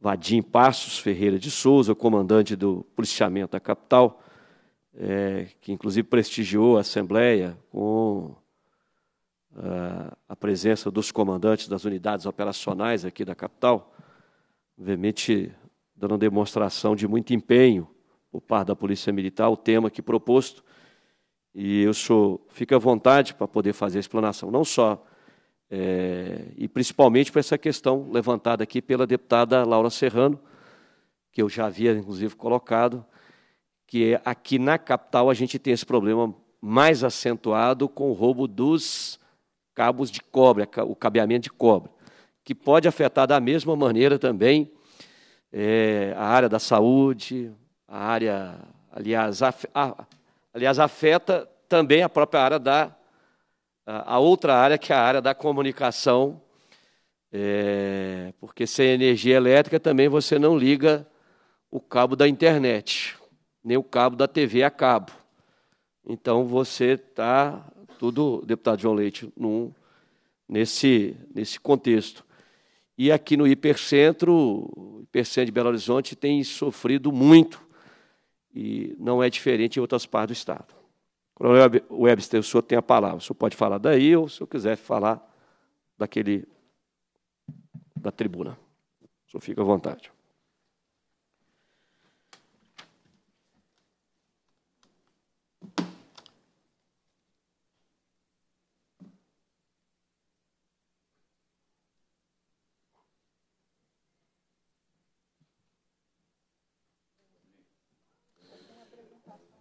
Tem uma apresentação. Enquanto vai colocando aqui a apresentação, me permita cumprimentar todos os presentes com um bom dia. É, gostaria também de cumprimentar o deputado Sargento Rodrigues, que é o presidente da Comissão de Segurança Pública, da Assembleia Legislativa, grande parceiro da Polícia Militar de Minas Gerais e de todas as forças de segurança, e também pela importante matéria que nós estamos discutindo na, nessa manhã. Né? A gente não sabia o tanto de problemas que os senhores estão passando lá. Temos que conversar. O senhor vai ver aqui que o nosso problema também é muito grande, né, deputado João Leite? Aproveito também para cumprimentar o senhor. Né? Inclusive, dentro das falas dos senhores, eh, a gente foi passando várias é, coisas na minha cabeça, assim, de o que, que a gente pode fazer para estar tá melhorando e, e dando uma contribuição ainda maior do que a gente já vem fazendo ao longo aí da nossa missão institucional de Polícia de Segurança Pública. É, e sou como membro aqui é, dessa casa e, e, sete vezes já eleitos. Né, a gente já sabe que o trabalho do senhor também é incessante. Agradecer também a deputada Laura Serrano pelas palavras iniciais, de grande exposição do problema, e a senhora já tocou no assunto que hoje nos apetece muito, que inclusive aqui na nossa, principalmente no hipercentro, né, desses furtos aí de cobre, e vocês vão perceber também o que, que nós temos feito, as ações estratégicas que nós já vemos produzindo, e o que, que nós podemos ainda, solicitamos que a gente faça em conjunto, né, para fazermos uma força-tarefa, enfim, nós vamos estar explicando isso aqui também, então muito obrigado. Agradeço também aos deputados é, Celise Laviola, Leo Portela e Gustavo Santana, que nos acompanham de forma remota, e o deputado Eli Grilo. É, gostaria também de agradecer o Ricardo Mascarenhas. Ele falou aqui que a mãe dele é, é nossa professora, mas a gente, na Polícia Militar, um dos nossos pilares é hierarquia e disciplina, e também é, o cuidado que nós temos com aqueles que, que nos formam e que nos orientam. Né? E, no caso, eu gostaria de saber o nome da mãe do senhor. Sim. Ah, não, a professora Simone, ela não é professora nossa, não. Ela é nossa mãe. Né? É uma pessoa... É, eu sou irmão do senhor, o senhor falou tudo. Aquilo, professor de constitucional, mas é uma excelente professora, orientadora e para a vida, né? Então, Assim, o senhor é um afortunado de tê-la como mãe. É, também agradeço muito a palestra do senhor aqui, que contribuiu muito para o nosso tema. Bem, senhores, primeiramente, me apresentar, né, o Coronel Webster, sou comandante de policiamento da capital, estou nessa função há três meses, mas já venho de uma experiência é, em, na cidade de Divinópolis, que tinha 50, distritos, é, 50 cidades, 40 distritos para comandar, uma população lá de 1 milhão 182 mil pessoas, distribuído em 42 mil quilômetros quadrados. Então, assim, é, lá nós tínhamos, igual o deputado João Leite, João Leite não, o deputado Sargento Rodrigues falou, um problema muito sério com questão aí de estouro de caixa eletrônico. No ano de 2017, nós tivemos lá 31 casos, era um problema complicado, né? e aí, justamente com várias ações estratégicas, né? Em 2018, a gente passou para seis casos, em 2019, três já na minha gestão, e esse ano zerei o crime lá, o que talvez me capacitou para estar tá vindo assumir essa missão. Mas as pessoas terem uma, uma noção da grandeza que é Belo Horizonte, né? É, pode passar, por gentileza? É, o nosso desafio é o seguinte: hoje nós temos aqui oito batalhões que estão aqui representados pelos meus comandantes. Aproveito também para agradecer e a toda a Polícia Civil de Minas Gerais, na pessoa é, da doutora Cristiane, que também é nossa parceira lá, de forma muito integrada, viu, doutora?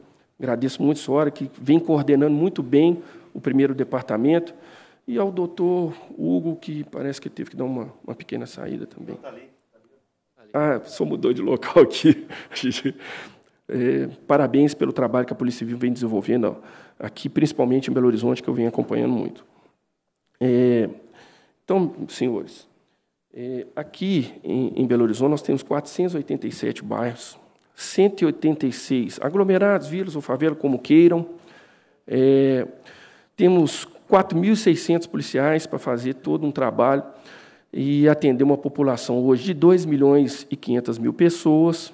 E quando a gente coloca a RMBH, a gente passa aí para 5 milhões de pessoas. Então, esse é o desafio que nós temos. Né? E aí os senhores sabem, questão de, de recurso, e a demanda é muito grande. Essa aqui é mais uma demanda que nós temos que olhar com bastante carinho, bastante cuidado.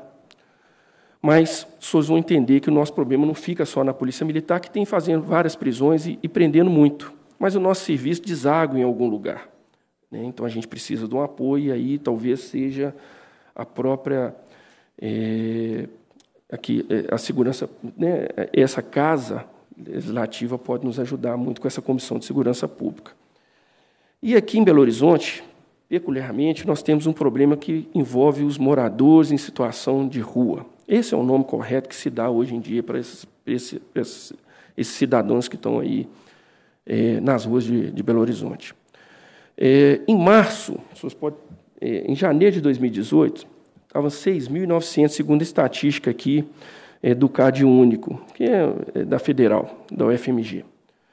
Hoje, aliás, hoje não, em, em maio de 2020, foi feita uma, uma, uma nova contabilização e já estávamos com 9.035.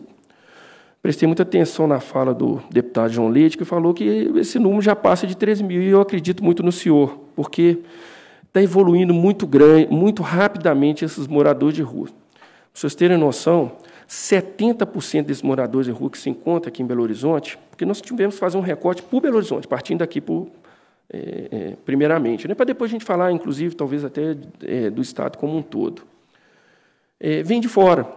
30% são realmente moradores daqui. E os senhores podem ficar até apasmados, mas nós temos aqui identificados mais de cinco países que estão morando nas nossas ruas aqui de Belo Horizonte. Inclusive, nós já fizemos uma prisão aí de uma pessoa que tinha nacionalidade dos Estados Unidos. É, e, e, aí nós estamos vendo essa, essa população, é, e aí não, não é mais uma questão só social. Né? Trata-se de uma questão também policial, porque eles estão morrendo. E morrendo muito, inclusive dentro é, de galerias de transmissão de energia. Nós vamos passar uma foto, senhores, alguns podem ficar até um pouco chocados, mas é, a intenção é essa mesmo, para mostrar aos senhores que, primeiramente, nós precisamos de dar conta de resolver esse problema dos moradores de rua, criando algumas regras que podem ajudar, inclusive, nessa questão aqui dos furtos de cabos de energia é, são distribuídas barracas para essas pessoas que, que não têm um regramento, né? E aí a gente pode entender até que, de certa forma, tem uma privatização do espaço público. É, recebem cinco marmitex por noite. Alguns relatam para a gente que não sabem nem o que, que faz com a marmitex. Alguns comem só carne e jogam o resto fora. Né? Isso, isso é relato dos próximos moradores. E eles estão morrendo. Estão morrendo. São 15 mortes já esse ano, inclusive algumas matérias, eu vou começar falando para os senhores aqui. É, isso é na data de hoje, tá, gente? É, vamos lá. É, só para vocês verem as manchetes de hoje, tá? É, vamos lá. Em cinco anos, triplica o número de mulheres em situação de rua. Data de hoje. Morador de rua é preso pela décima vez suspeito de furtar cabo de cobre. Então, nós estamos trabalhando. Vocês vão ver isso aqui na estatística que nós vamos mostrar para os senhores. Só que na área do, do hipercentro foram 122 prisões referentes a furtos de cabos. Só questão de novo aí. Tem gente que não aprendendo pela 49 vez. Vou mostrar pelas iniciais deles. Suspeito de furtar cabos cai de altura de 5 metros em trincheira da Pampulha. Hoje. Homem surta, ameaça pedestre com faca e faz duas vítimas no centro de Belo Horizonte. Esse caso foi aqui, ó, sujeito lá com faca, né, tentou matar, inclusive dois moradores de rua, porque a população é muito grande realmente, dando facada, estão em estado grave aí.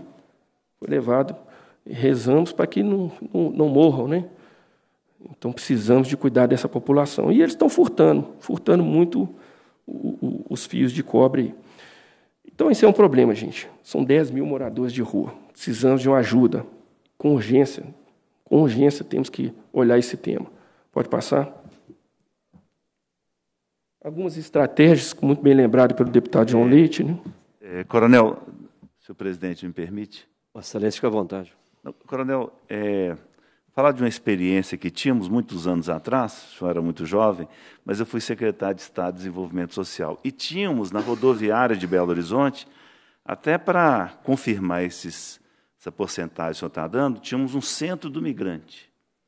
A maioria das pessoas que chegavam de ônibus a Belo Horizonte, do Nordeste brasileiro, a, o ponto final deles era São Paulo, interior de São Paulo, Rio de Janeiro, mas quando chegava em Belo Horizonte não tinha dinheiro para continuar a viagem.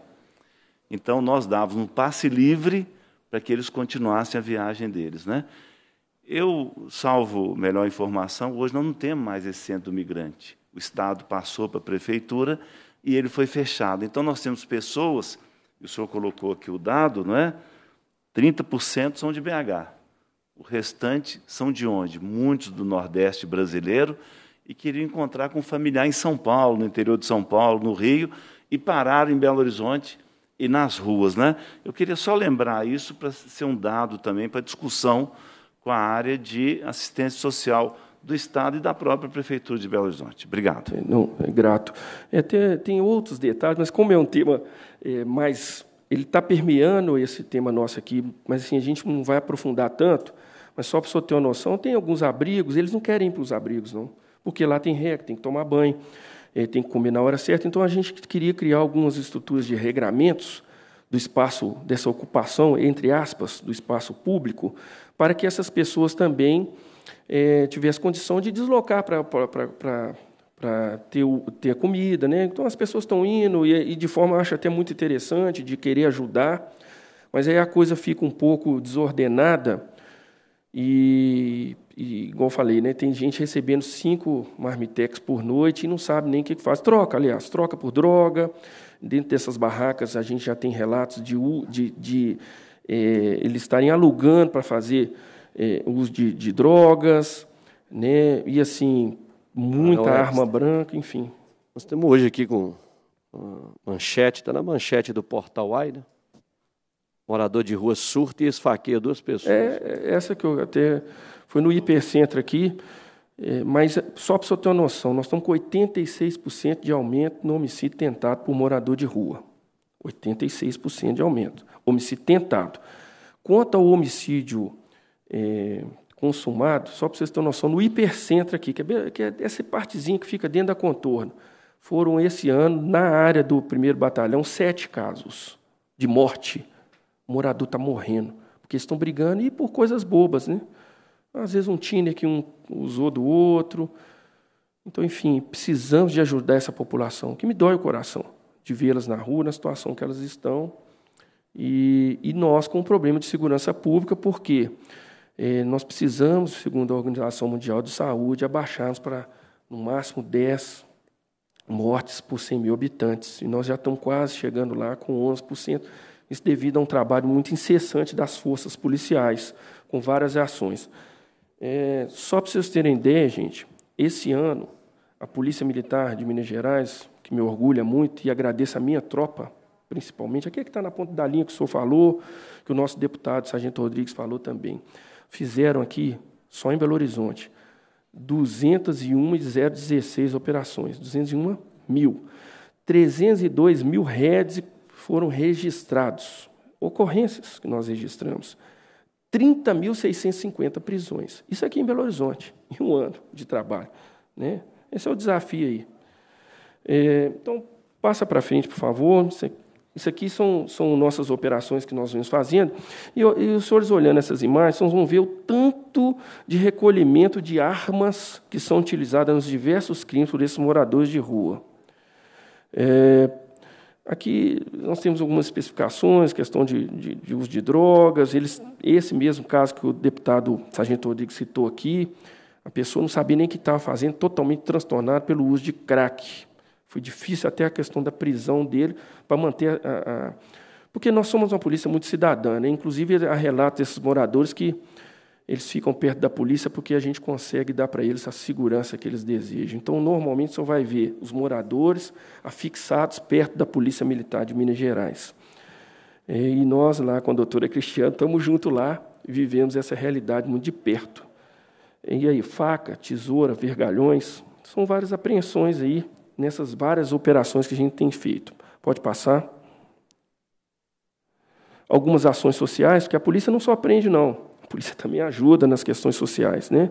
Então tá aí várias ações que nós temos feito para estarmos próximos do problema e tentarmos minorá-lo. Pode passar? Aqui, gente, dentro das nossas ações estratégicas, né, nós temos aí a marca de 121 prisões dia. Né? Fazemos 660 operações por dia. Isso é o trabalho que nós temos feito aí, essa tropa magnífica, principalmente que acompanha aqui a primeira RPM. E aí nós vamos falar também da questão da nossa resposta imediata. Nós temos feito as prisões, ou seja, o crime acontece, nós vamos lá e prendemos. Isso com 23% de efetividade. Quanto à questão da receptação, que é o problema que atinge muito essa questão aí dos furtos de cabo, nós já temos identificado, fizemos operações nesses locais de receptação. Alguns desses locais foram fechados, a Polícia Civil também tem feito essas operações.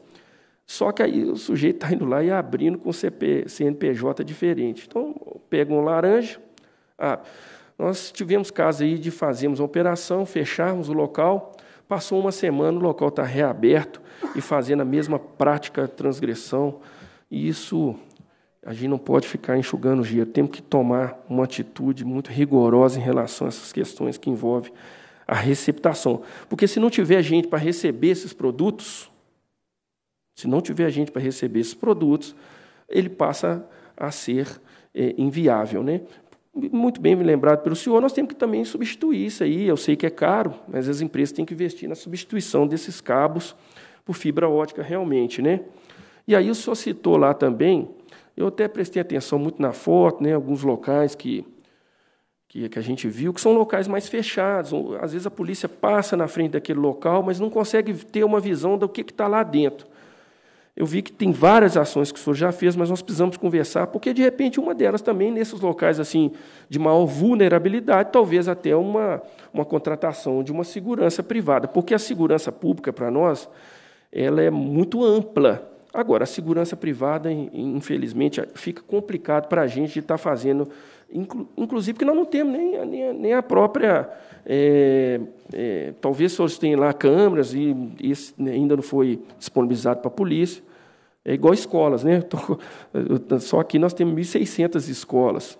Então, assim, para a gente vigiar esses locais, assim, nós precisamos de, de, de, ter uma, uma ajuda dos senhores, e aí, nessa força-tarefa, nós vamos conversar para chegar num, num, num, consenso maior. Aí eu falo para todos os senhores aqui. Estamos disponíveis, a Polícia Militar de Minas Gerais está disponível, e acredito que a Polícia Civil deve falar depois, que vai também estar disponível para isso, e também temos que envolver aí o próprio, o próprio Ministério Público, porque é, a ajuda deles é muito importante nessas ações estratégicas. Pode, pode passar, por favor?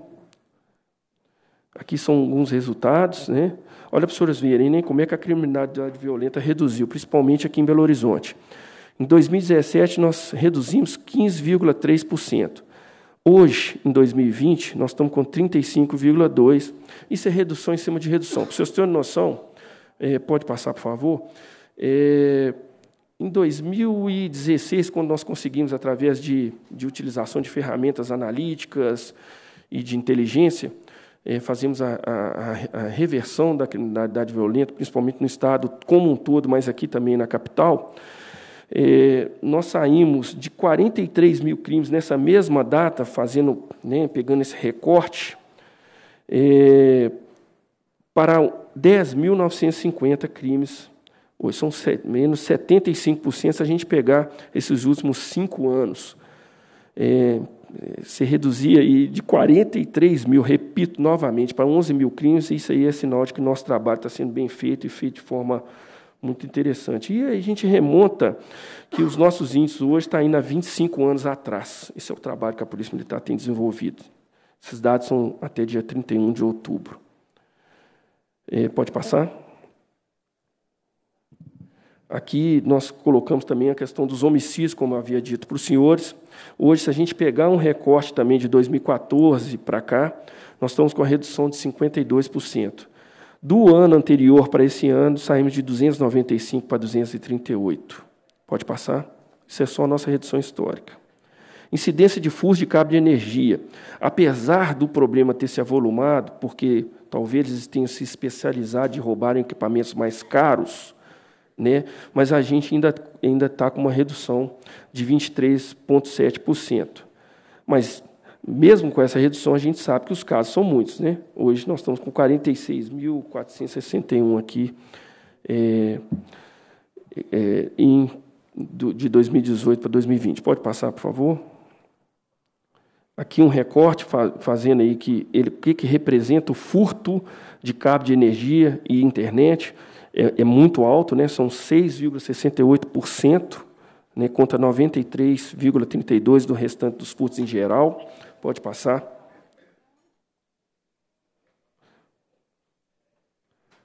Pois é, e aqui nós colocamos né, é, 122 presos. Isso aqui foi num dos batalhões, aí eu vou me permitir falar que foi na área do primeiro batalhão, que é onde estão os maiores casos.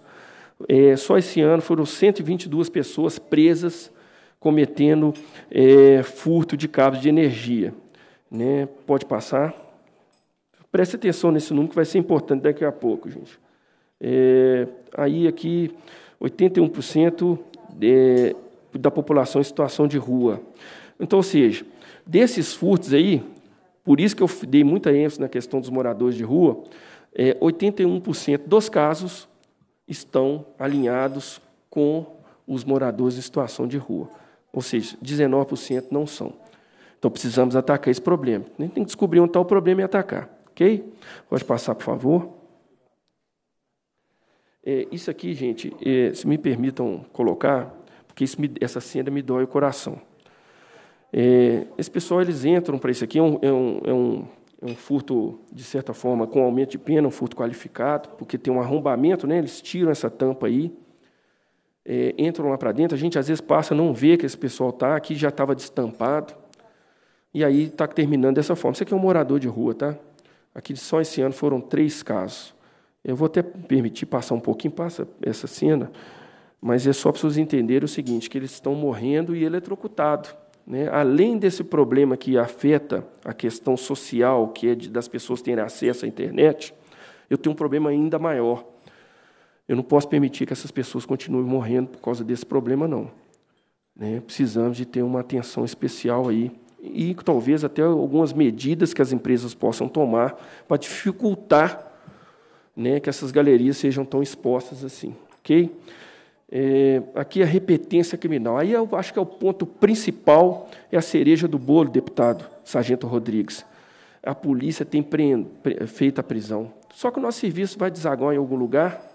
Aliás, a gente sabe os locais, né? passa primeiramente pela Polícia Civil e, posteriormente, é, para os outros órgãos que compõem o sistema de defesa social. Alguém falou aqui, tem uma lei, é, tem muito interessante a lei específica, mas a gente sabe que no caso do furto qualificado, com arrombamento, ele, ele vai lá de 4 a 10 anos, tem, tem alguns casos que é de 5 a 10 anos. Então já existe é, é, lei para combater a questão do furto, mas o furto ele não pode ser tratado como, como menor potencial ofensivo. Então esse é o grande problema nosso. Né? não se trata de uma lei de menor potencial ofensivo, a Lei 9.099. O furto tem, ele tem qualificação no Código Penal, né, artigo 155. E aí vocês vão ver que só esse ano aqui, ó, de 2020, 538 pessoas foram presas mais de uma vez.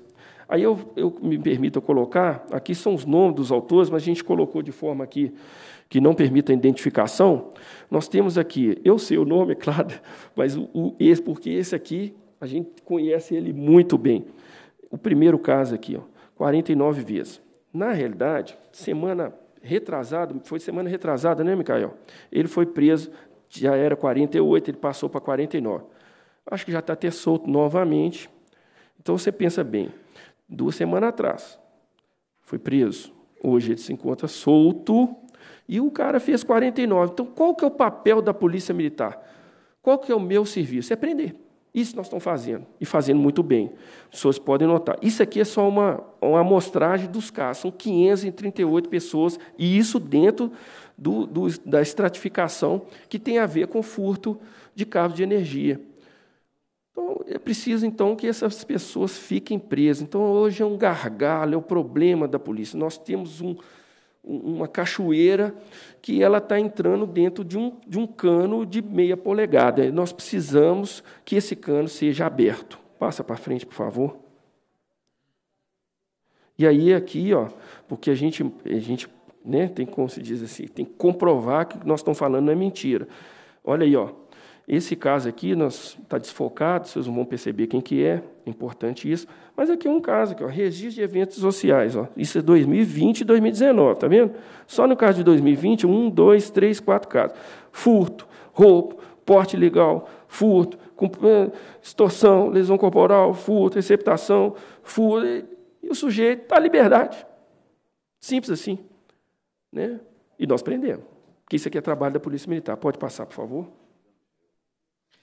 Comandante, depois esse, esse uh, slide aí, essa tela, vamos um jeito de imprimir aí, porque nós precisamos é, cobrar do, do Procurador-Geral de Justiça e do Tribunal de Justiça. E haja polícia para ficar enxugando gelo o tempo todo, é. Hoje, sem gente... que eles tenham também uma postura mais, eu diria, mais condizente em defesa da sociedade. Não vou falar. É, é, é, é, não é atender a pedido da comissão, da polícia, não, é da sociedade, porque é a sociedade que paga. E a gente não pode ter um cidadão desse preso tantas vezes. Aqui, ó, furto, tráfico, roubo, roubo, porte ilegal, roubo, roubo, roubo, roubo, roubo, furto, violência doméstica. Talvez nem, nem, talvez nem, nem tornozeleira eletrônica esse cidadão tenha. Posse legal de arma de fogo, roubo, vias de fato, agressão, ou seja, não tem cabimento um cidadão desse estar solto, aí depois ele comete um homicídio. É, notou, senhor tocou num ponto aí que crucial. Né? É porque a prática reiterada dos crimes que estão aqui, sem nenhuma resposta do Estado, porque o que não pode é achar que o Estado é só polícia. Eu sempre falo isso aqui, deputado João Leite. É, nós não podemos enxergar, porque a ação de polícia, às vezes, requer uma ação de Estado. Então, muitas vezes, senhor, desculpa eu interromper o senhor, mas é um. Isso é muito pertinente. Um, um tema muito importante e a gente não pode perder a oportunidade. Quando eu falo que o Estado é Assembleia, é Defensoria Pública, é Ministério Público, é Poder Judiciário, porque a Constituição né, fala, é dever do Estado. E tem gente que acha que o dever do Estado são só as polícias civil e militar. O Estado ele é muito mais amplo.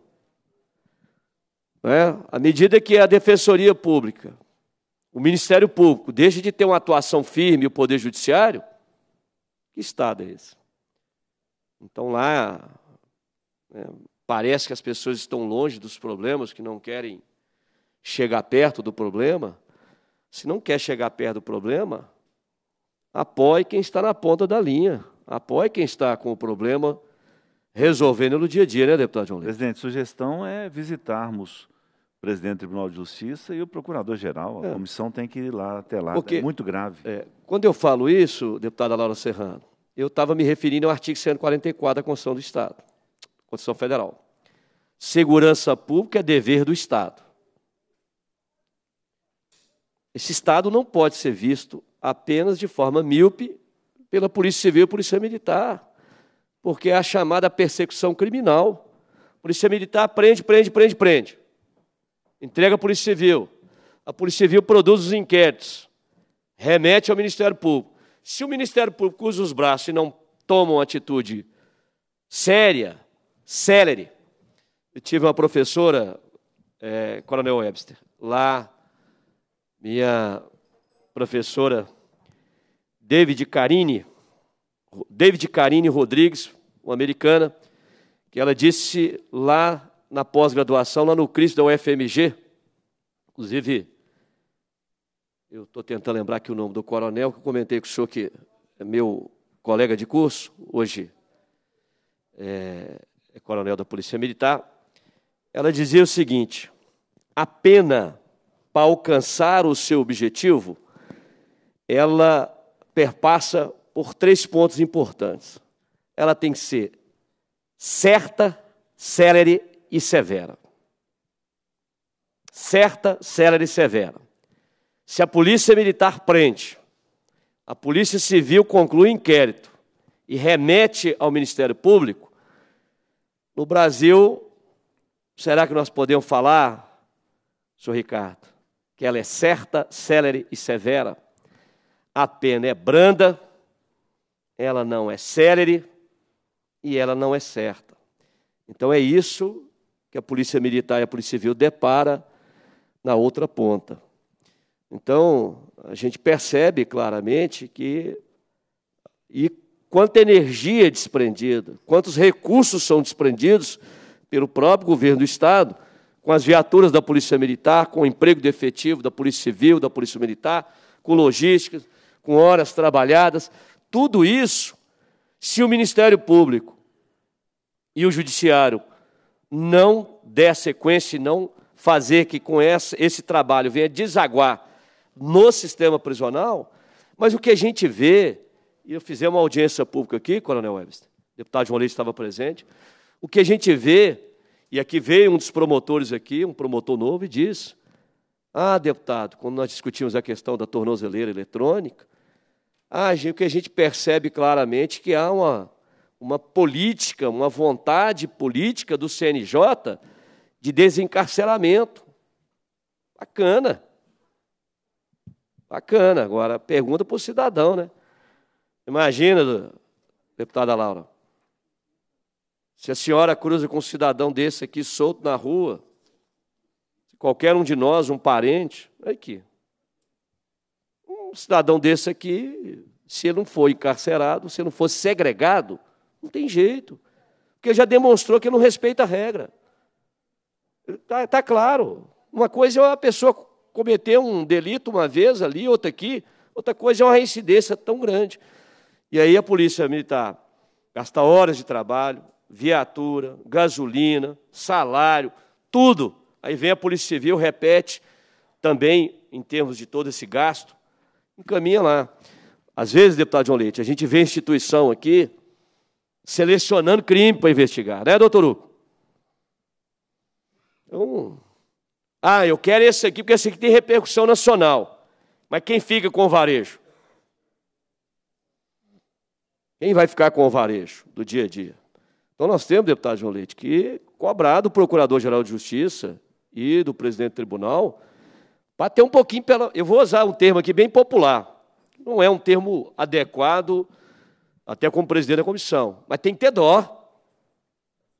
Se não tem dó das polícias, tem a dó da cidadão, da população que paga imposto.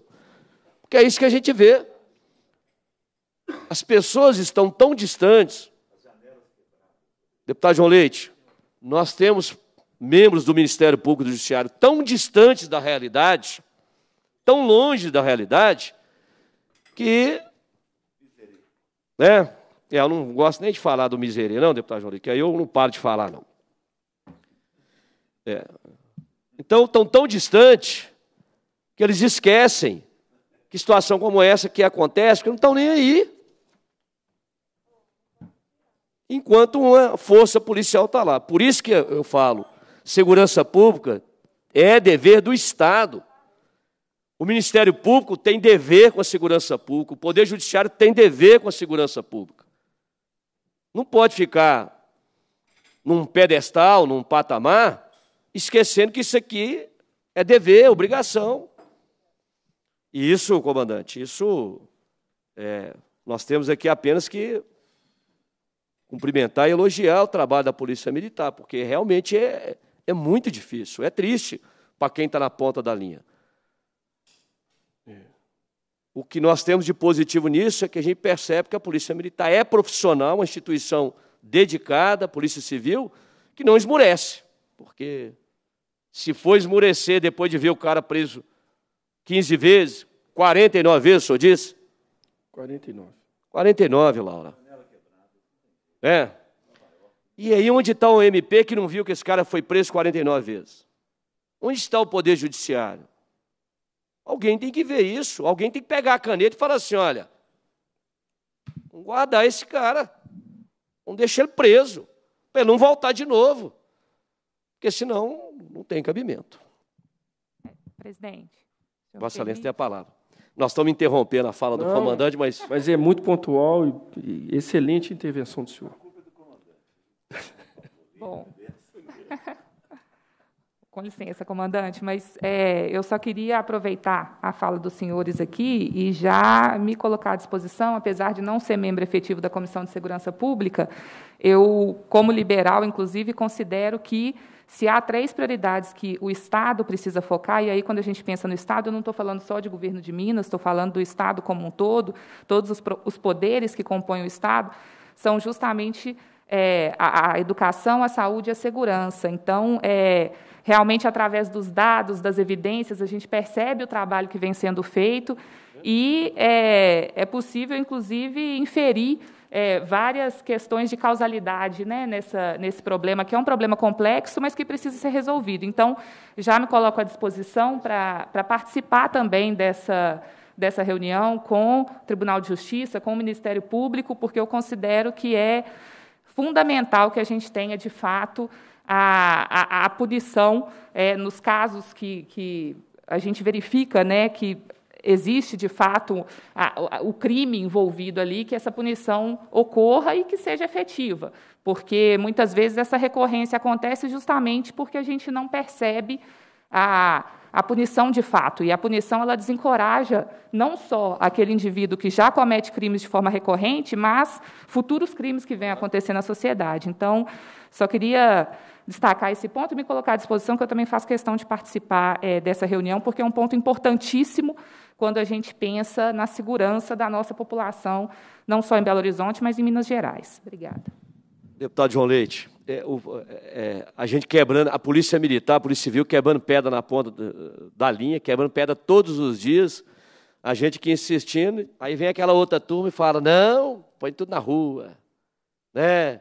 Isso é um problema. Eu queria deixar aqui registrado, viu, comandante, que eu tentei lembrar aqui o nome do, do meu colega lá de pós da UFMG, hoje o diretor de saúde, Eugênio Pascoal da Cunha Valadares, coronel Eugênio, só para deixar registrado aqui, né? Então me fez lembrar dessa passagem. O Brasil realmente, em termos de direito penal, é uma esculhambação, é uma brincadeira, é uma, é, eu diria, zombar da vítima do cidadão que paga imposto, deputado João Leite.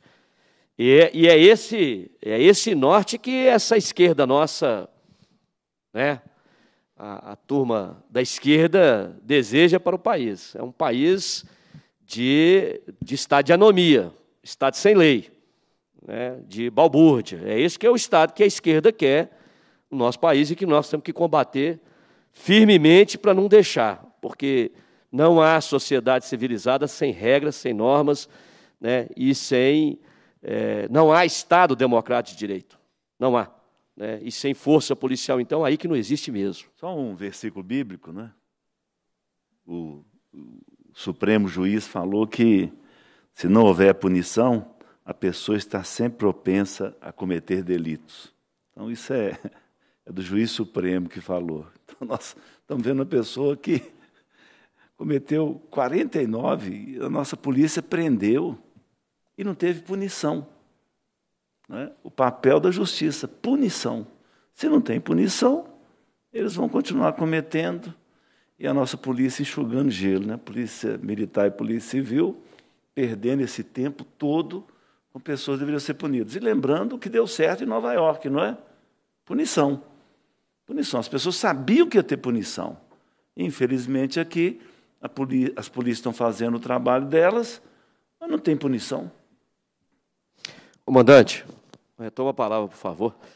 Perfeito. Muito obrigado pelas intervenções, né, que isso aí eh, ajuda muito a gente não desistir, como o senhor falou. É obrigação nossa aprender, mesmo se tiver que aprender 50, 60, 70, nós vamos continuar aprendendo da mesma forma, sem esmorecer, porque a Polícia Militar de Minas Gerais ela, ela tem como premissa servir para servir. É, mas nós temos algumas ideias. Então, na hora que tivermos essa força-tarefa estabelecida e tivermos as discussões mais acaloradas aí para mais pontuais, é, nós podemos inclusive falar. Hoje nós temos um, retrabalho que além da gente prender as nossas nossos serviços de inteligência tem que fazer uma constituição de um dossiê para posteriormente ser apresentado para que na audiência de custódia a gente consiga fazer com que as pessoas fiquem presas. Então esses casos mais pontuais é, nós estamos tendo que fazer esse, esse trabalho, e é um trabalho que precisa ser rápido, célere, inclusive a gente tem como ideia que isso seja colocado no próprio REDS. Né? O próprio REDS já sair esse vínculo é, criminal que nós temos estabelecido para ajudar que aquele juiz também consiga enxergar que essa. Porque às vezes, é, deputado, pode ser que eles não estão enxergando essa pessoa dentro desse contexto aqui. Eles enxergam um crime separado. Precisamos ampliar a lupa para que o nosso magistrado e talvez o nosso promotor consiga enxergar esses casos aqui como casos de prioridade. E talvez aí sim gostaríamos de contar muito com essa comissão, pelo peso que ela tem, para que possa é, nos auxiliar de que, essas, que as pessoas consigam enxergar verdadeiramente é, esse problema do jeito que nós enxergamos hoje no nosso dia a dia, né, no combate diário aí ao, ao crime violento, principalmente. É, pode passar, por gentileza?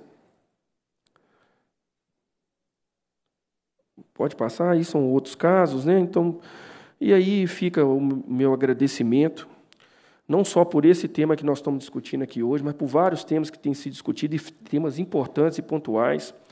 Essa questão da tornozeleira que o senhor, que o senhor deputado Sargento Rodrigues relatou aqui, só para vocês terem uma noção, esse ano nós prendemos 500 pessoas que estavam cometendo crime e que estavam usando essas, essas tornozeleiras. Ou seja, nós não queremos nada demais, não queremos perseguir ninguém, certo? Nós só queremos fazer o nosso trabalho. E para a gente fazer o nosso trabalho, a gente precisa de ferramentas analíticas, ferramentas que nos estruturem. E esse saque 24, que é da questão de tornozeleira, acontecia o seguinte, principalmente aqui no hipercentro, novamente falando, o crime aconteceu, a gente conseguia estabelecer, existe alguém que está com um determinado, é, com tornozeleira, com pimenta? Tá. É, porque ele tem que ser vigiado. Se ele está com tornozeleira, para quê? Né? Se não fosse para ele ser vigiado, não precisava da tornozeleira. E aí a polícia Coronel consegue... na, próxima, na própria sentença, é, ele é advertido desse monitoramento, na própria sentença. Perfeitamente. Então, assim, decisão eu não judicial. acho que né, nada demais, por exemplo, a gente verificar, olha, o cara estava no local do crime, né, a gente tem uma triangulação do crime, né, que a gente fala que é o seguinte, o crime ele, ele precisa do, do, do infrator motivado, precisa da ausência do Estado, e isso não está acontecendo, o Estado está presente, na pessoa, da, principalmente das forças de segurança pública, e precisa de uma vítima disponível e que esse infrator com essa vítima se encontre em determinado tempo e espaço. Então, o que, que nós queremos? É, é retirar esse tempo e espaço aí desse infrator é, junto à, à, possível vítima.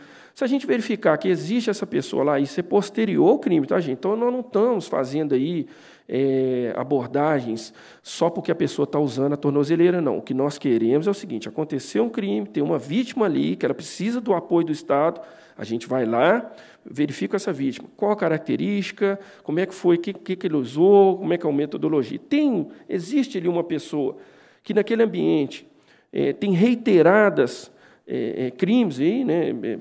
Vamos lá, vamos abordar. É essa pessoa? Simples assim. Qual é o problema disso? Né? Ah, não, não é não. Então, ótimo, vai embora com Deus. Coronel, né? enfim. Aproveitando a Coronel Cleide aqui, esses 500 casos aí estão ligados também à violência doméstica, pessoas que usam tornozeleira para medidas protetivas, né? Para permanecerem distantes. Tem como desmembrar isso? Descobrir é, isso? É, o tema ela permeia sim a, a, violência doméstica, e aí isso tocou num, num ponto crucial, é muito importante para a gente também, porque às vezes ele tem medidas restritivas, tem que ficar longe daquelas é, da, da mulher, protegendo a família, e, e, esse acompanhamento, porque a polícia militar é que está mais em contato, ela está disponível para fazer esse trabalho, a gente se coloca, apesar desse desafio todo que eu coloquei para os senhores aqui, né, desse tanto de ocorrências que nós registramos, de prisões, né, é, nós estamos ainda disponíveis e queremos fazer o melhor que nós pudermos para estar garantindo para essa sociedade né, que ela tenha aí uma condição melhor de viver. Né?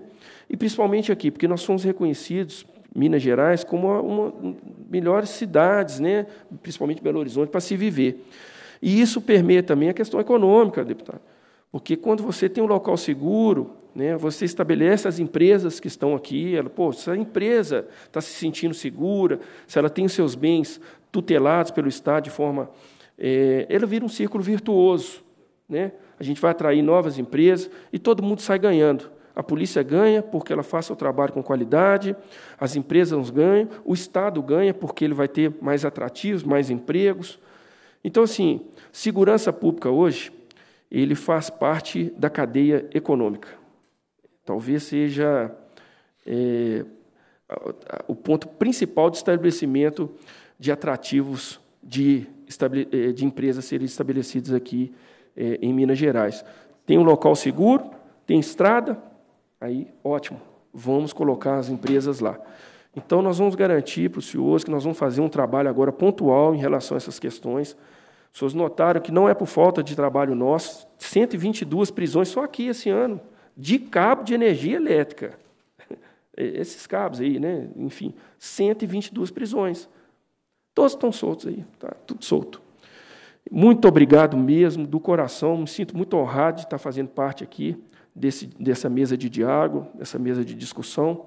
Agradeço a todas as pessoas que estiveram aqui presentes, principalmente aos meus comandantes que representam essa tropa é, da Polícia Militar de Minas Gerais, principalmente aqui de Belo Horizonte, que tem feito um excelente trabalho. Muito obrigado. Agradecemos ao Coronel Webster. É, nós é que temos que agradecer o senhor por oportunizar, conhecer esses dados e permitir que a Assembleia possa também, através dessas informações, buscar também somar esforços junto à Polícia Militar. É, eu alertava o deputado João Leite que naquela audiência pública, onde nós discutimos aqui é, o descumprimento de uma lei estadual, deputado João Leite, que Vossa Excelência, eu tive iniciativa, mas aprovada pelo Parlamento, que é a Lei 13968 de 2001, que determinou, é bom que todos os senhores comandantes de batalhões saibam dessa lei, a Lei 13968 de 2001, que é uma lei de minha iniciativa, ela foi fruto, comandante. Eu disse aqui o dia, porque nós tivemos, nós temos hoje um adjunto de segurança pública, o sou Gustavo Tostes, que vedou o acesso da senha da Polícia Militar aos tornozelados. E a gente percebe que é muito mais um ato pessoal, uma atitude mais é, de interesse pessoal, uma picuinha pessoal, do que uma decisão de Estado. Deputado João Leite, esse é um assunto que nós precisamos levar ao secretário de governo, Igor Eto, porque isso está trazendo um prejuízo enorme para a população. Não é para o comandante, tenente-coronel, comandante, o Micael, comandante do primeiro batalhão. Não é para o tenente-coronel Fábio, comandante lá do 22º Batalhão. Não. É para a população, Tenente Coronel Fábio. Prejuízo da população, que não tem a polícia militar ali monitorando. Não é a nossa. É, a nossa Tenente Coronel Cleide Barcelos, que é comandante da primeira Companhia Independente de Prevenção à Violência à Mulher, não. Como é que a senhora vai fazer violência à mulher se o tornozelado a senhora não consegue acessar a senha dele? O Tenente Coronel Marcos Pereira esteve aqui, e eu alertei o deputado João Leite, e parece, se eu não estou equivocado, se minha memória não me trair, 27% dos casos envolvia violência doméstica. Nós tivemos um exemplo aqui, comandante, que eu homenageei a Sargento Marcilane, lembra, deputado João Leite? Aquela belíssima homenagem, quer dizer, demonstrando o tanto que a Polícia Militar ultrapassa e muito a sua missão institucional quando nós homenageamos aqui a Sargento Marcilane, que foi atender uma ocorrência de Lei Maria da Penha, foi levar, foi chegar na delegacia para encerrar a ocorrência, lá encontrou uma vítima de Lei Maria da Penha com um bebê de três meses de idade. A sargento chamou, experiente, chamou ela para outra sala, a criança chorando, a mãe descontrolada, nervosa, que tinha sido vítima. E a sargento foi lá e ofereceu e amamentou a criança durante 20 minutos, abriu a farda, levou para um canto reservado e amamentou. A polícia militar faz isso, deputado João Leite, deputada Lara Serra. Faz uma coisa dessa. Enquanto o senhor Gustavo Tostes, secretário adjunto, vem aqui, senta aqui numa cadeira e diz: não, é porque existe uma resolução do CNJ. O dia que se resolução passar por cima de lei, Então, deputado Jolie, nós temos que entregar o mandato e ir embora. Resolução do CNJ pode, pode nortear as ações dentro do judiciário. É interna corporis. Assim como a resolução da Assembleia para dentro da Assembleia. Mas dizer que ela tem efeito erga omnes, ou seja, para todos, aí é rasgar a Constituição Federal, rasgar a, a, a, Constituição do Estado. E veio aqui na maior cara de pau dizer: nós aprovamos o requerimento, deputado João Leite, estamos aguardando, porque a Lei 13968, eu quero aproveitar a presença dos comandantes aqui, muito boa oportunidade, viu, Coronel Webster? Para dizer aos senhores que quando eu operava a cabine do Copom, de 93 a 96, a gente tinha um contato mais próximo com o pessoal da Polícia Civil, principalmente da Delegacia de Força e Roubo, de vez em quando eu conseguia uma senha. Dava fim de turno no sistema, aqui, ó, no computador do Copom, e acessava o SSPMG e tinha acesso aos arquivos criminais. Gente, isso é só uma senha. Por que, que o Estado tem que sonegar informação para o próprio Estado? Presidente. Eu já, já concluo. O que, que nós fizemos? Eleito deputado, eu vim aqui e apresentei um projeto de lei. Ele tramitou em três comissões em primeiro turno, aprovado em primeiro turno, segundo turno não sofreu uma vírgula. É a Lei 13968. Determina o acesso comum das informações e prevê punição a agente público que sonegar, reter essas informações. Então, nós aprovamos o requerimento, deputado João Leite. Eu fiz a pergunta para o secretário. Eu quero saber quem deu a ordem, quem cortou a senha quedou-se inerte. Que nós não vamos descansar, comandante. Nós não vamos descansar enquanto essa cena não for restabelecida. Que enquanto a polícia militar pedindo para trabalhar, para servir e proteger, o outro com atitude pessoal. Mesquinha, pessoal. Eu estou falando do secretário adjunto de Segurança Pública, o senhor Gustavo Tostes. E o deputado João Leite estava aqui e presenciou. Vossa Excelência tem a palavra. Presidente, é, eu queria destacar aqui sobre a Secretaria de Segurança Pública do Estado, que a gente sabe que nós temos um corpo técnico é, de excelência, que é um corpo técnico bastante responsável. É, como o senhor mencionou, já existem algumas, algumas questões que foram apresentadas, eu tenho certeza que há uma razão para as decisões que são feitas, mas, ao mesmo tempo, também existe o espaço para o diálogo e para aprimoramentos. Então, é, como o senhor mencionou, acho que seria o caso não da gente colocar é, essas críticas, mas procurar buscar a solução e, e resolver as questões. E, e, acredito que um contato com a Secretaria de Governo e com a própria Secretaria de Segurança, a gente consegue uma solução muito mais efetiva. Então, só queria complementar nesse ponto, mas respeitando, claro, é, a, a, fala da presidência e, e os pontos que foram apresentados aqui. Deputada Laura, é, Vossa Excelência precisava estar aqui no dia para ver a desfaçatez com que o, que o, o secretário adjunto tentou desviar do tema. O que ele fez na prática foi prejudicar o cidadão. O que ele fez na prática foi prejudicar a população. Comandante de batalhão da Polícia Militar não quer senha para ele, não. Quer senha para ele poder utilizar na ponta da linha e dizer que a resolução do CNJ previa que não poderia violar a intimidade. Intimidade. Que intimidade, doutora? Ou se o cidadão aceita na decisão judicial que ele tem que ser monitorado, monitorado numa tela de computador, ninguém está entrando na casa do, do tornozelado, não está vendo ele pelado no banheiro com a mulher dele, na cozinha, no quintal. Não. Está monitorando em qual parte da rua, do bairro, que ele recebeu a determinação, ele está. Apenas isso. Não há absolutamente nenhuma violação. Então, invocou-se uma resolução para tentar encobrir a sua atitude, que não é atitude republicana. Infelizmente, foi o que aconteceu. Só que nós não vamos descansar enquanto isso não for restabelecido. Então, é bom que o senhor saiba disso, que foi objeto, é bom que a Tenente Coronel Cleide saiba disso, que nós não vamos descansar enquanto isso não for restabelecido. Até porque o secretário adjunto está descumprindo a lei e é a Lei 13968 de 2001. Porque quando eu cheguei aqui deputado, nós regulamentamos o artigo 297 da Constituição do Estado. E nós não vamos deixar que um retrocesso desse aconteça agora no ano de 2020. Mas nós vamos procurar, deputada Laura, Vossa Excelência tem razão.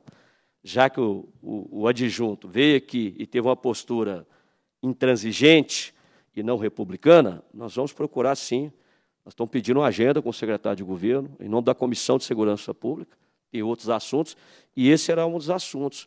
O secretário precisa tomar providência imediatamente, porque o prejuízo é do cidadão.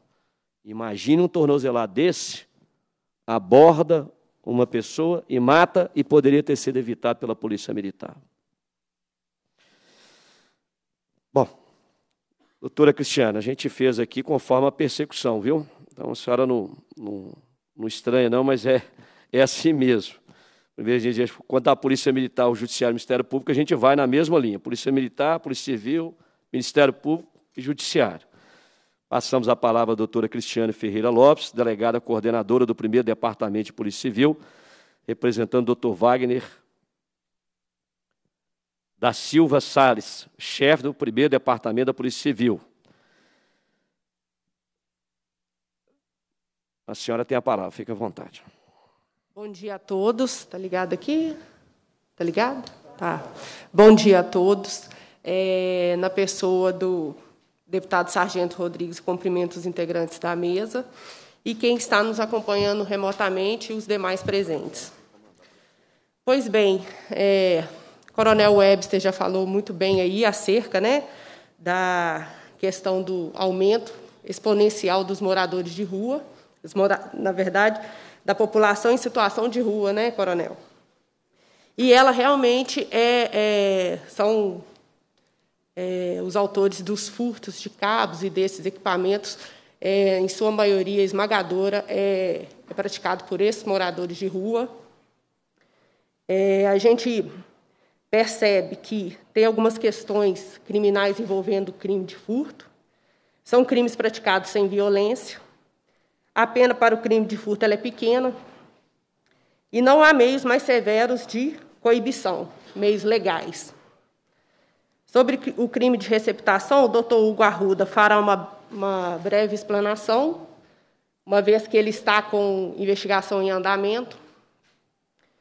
É, o objetivo do, do, da, da é, do furto né, desses fios é a retirada do cobre com a queima do fio. E o dinheiro auferido ele serve para sustento em vícios e manutenção dessa pessoa nas ruas.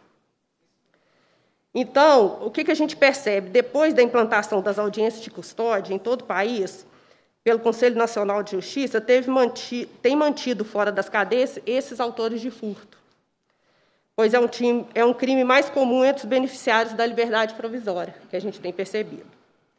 Dificilmente, se condenado, o réu receberá regimento, regime fechado, razão pela qual não faz sentido ele ficar preso antes do julgamento. Então, esse é o entendimento dos tribunais. É, possíveis, solu possíveis soluções: o trabalho preventivo permanente, né, feito aí pela Polícia Militar, identificação e prisão do receptador e do autor do furto reincidente.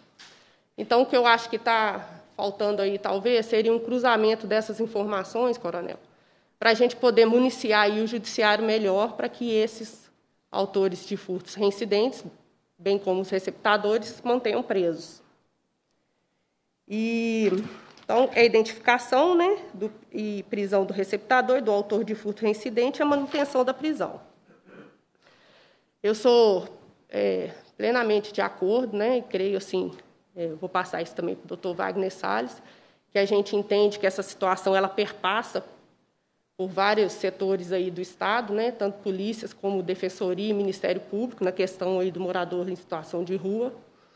Então, seria interessante é, criação de uma força-tarefa específica e permanente da municipalidade, envolvendo profissionais de várias áreas, sobretudo Secretaria Municipal de Assistência Social, Guarda Municipal, além da Defensoria Pública, Ministério Público, Justiça, Polícia Civil e Militar pois é um ciclo criminal de vulnerabilidade social que fica retroalimentando essa situação, com furto, a venda dos produtos, prisão e soltura. A PC está trabalhando né, nas investigações e receptação, visando a identificações, identificação dos seus autores, monitoramento dos alvos e representando pelas prisões preventivas. Houve um apagão na cidade, no hipercentro, aí no dia 7. É, já foi instaurado um inquérito policial para investigar, né, em razão de furto de, furto de fios. É, o primeiro departamento através da Regional Noroeste da Terceira Delegacia Centro, realizou duas operações no ano passado, é, visando em face dos receptadores, e a investigação em andamento, que o doutor Hugo Arruda poderá falar melhor, porque o interessante aqui é combater o receptador, né? Sem o receptador, a gente realmente não tem como alimentar esse crime, o crime de furto. E só que eu acho interessante também que tem que, tem que ter um envolvimento da prefeitura para o fechamento desses estabelecimentos. Porque senão, igual o coronel falou, ele, volta, ele abre, é, às vezes transvestido de uma outra, de uma outra roupagem, para continuar a venda desses produtos que, de origem ilícita. Passar a palavra para o doutor Hugo. Ok. Doutor Hugo Arruda. Convidamos o doutor Hugo. Possa utilizar aquele microfone lá, doutor?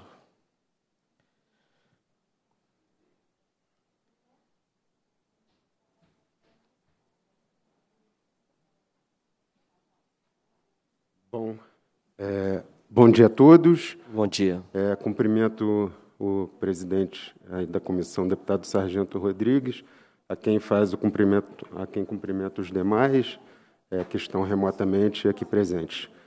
É, estamos aí diante de um tema, é, desde eu sou, me apresentando, eu sou delegado Guarruda, é, sou delegado regional Noroeste, né, que abrange aí a área da Lagoinha e também ali as imediações da Pedro II, onde a gente tem um intenso, é onde é, nós identificamos aqui na capital como uma área de alta incidência dessa modalidade criminosa na subtração desses materiais aí, de fio de cobre, é, de materiais de telefonia, placas, é, é, baterias, dentre outros. Né? Justamente o que já foi dito, por causa da vulnerabilidade social dessas pessoas é, que ali vivem em, na rua, em, em condições é, de extrema pobreza. Né? E desde que eu estou é, na, na delegacia regional, em 2017, nós fomos demandados para uma reunião na prefeitura que englobou aí o Ministério Público, é, a BHIP, que é a empresa responsável pela manutenção semafórica aqui na capital, é, a Secretaria de Prevenção e Segurança Pública da, da Prefeitura, alertando é, sobre esse problema, sobre essa, sobre essa demanda. A partir daí, nós começamos a identificar, estudar os casos e, e é, para os senhores verem. É, nós temos, isso foi em 2017, e em 2020 nós estamos aqui é, discutindo a mesma situação. Né? Estamos aí perpetuando essa incidência é, criminosa, essa lesão ao patrimônio das concessionárias de, é, de telefonia, de, de iluminação. Né? E, e só para vocês terem uma noção da gravidade, hoje a sensação é, dessa, é, da atuação, é, do reflexo que isso causa, está é, diariamente. Todo dia a gente vê é, sinais sem estarem funcionando. Há pouco, há uns dois meses, nós perdemos aí numa, numa casa de saúde, né? É, é, mais de duas mil vacinas. Então, é, isso causa um prejuízo, isso sem contar é, os prédios, enfim, é, o risco de vida num acidente. Então, nós estamos perpetuando é, esse crime. No início, só para ter uma noção da lucratividade que isso causa é, aos receptadores, aí é o, o, nosso foco da investigação, é, o preço do quilo do cobre era, era em torno de 23 reais. Hoje ele está 42. Então, é um atrativo é, é, muito grande em razão aí da pandemia, da alta do dólar. É, é então, essa sensação é muito maior. Né? Passamos a estudar, é, conhecer o problema com a agência de inteligência da, do departamento e da regional, é, e vimos que não havia, não haviam muitos registros por parte da, das concessionárias, ou seja, elas se preocupavam em, em restabelecer né, é, o serviço essencial, mas não procuravam a polícia para fazer o registro. Né? Então, isso é, é, é um, alguns fatores é, dificultadores da investigação, eles foram sendo analisados e, ao mesmo tempo, repassados, principalmente é, para a prefeitura, para a BHIP, algumas empresas concessionárias, CEMIG, CBTU, né, que, que são vítimas constantes, reincidentes nesse, é, nessa atuação. E, e o que, que, é importante? Muitas vezes a pessoa é conduzida, eu, eu vou falar um pouquinho tanto de quem, considerando que é, é, a gente tem subordinada DEPLAN 4, que recebe os flagrantes, é, da PM, da Guarda Civil e, e, e muitas vezes os representantes da, das empresas. É, o, o, qual que é o, o, gargalo que nós temos aí? Muitas vezes a gente tem o material, mas não tem a vítima. Né? Qual, qual seria a vítima? Qual empresa? Então, isso dificulta, muitas vezes, a ratificação desse flagrante. O que, que a gente precisa? É criar uma, um, um, um fluxo de comunicação para que a gente possa identificar imediatamente a vítima, do, é, a, a, vítima, a proprietária é, do material subtraído. Né? Isso facilita de sobremaneira.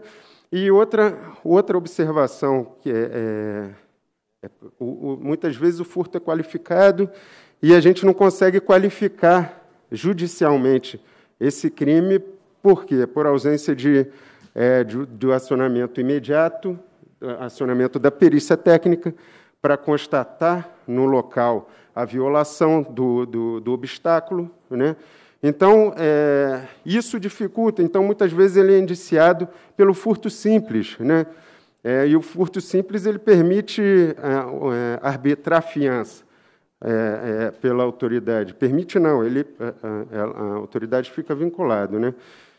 Então, o que, que eu tenho buscado a orientar essas vítimas e também é, é como fazer para tornar robusta essa investigação?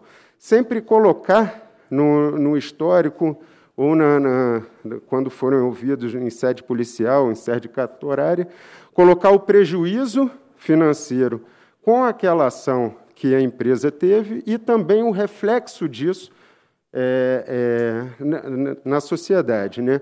O que, que aquilo causou? Qual foi o prejuízo para repor aquele material e também o, o reflexo social que isso trouxe, para é, simplesmente tentar sensibilizar também, de repente, com, com a representação de prisão preventiva, aí a autoridade, é, os membros do MP a autoridade judiciária para que ele não seja imediatamente liberado em audiência de custódia. Certo? Passando, é, é, analisando dessa forma, nós passa, é, é, vislumbramos que o receptador, a pessoa que, que movimenta financeiramente esse crime, que fomenta é, é, esse delito, ele é o grande responsável e nós passamos a, a, a focar a investigação nesses indivíduos, certo? Tanto é que em 2018 nós fizemos uma operação é, denominada é, Operação Sinal Vermelho, é, pela demanda aí da, da prefeitura, né, participou também a CEMIG, né, tendo em vista que ela também é uma vítima reiterada. É, nessa, nessa primeira operação, em 2018, nós cumprimos cerca de 14 mandados de é, mandados judiciais, certo? Conduzimos sete receptadores. A operação foi concentrada ali no hipercentro, principalmente na região da Lagoinha, onde a gente tem uma concentração imensa de receptadores. A notícia é que esses receptadores trocam esse material, inclusive por droga, por crack. Né?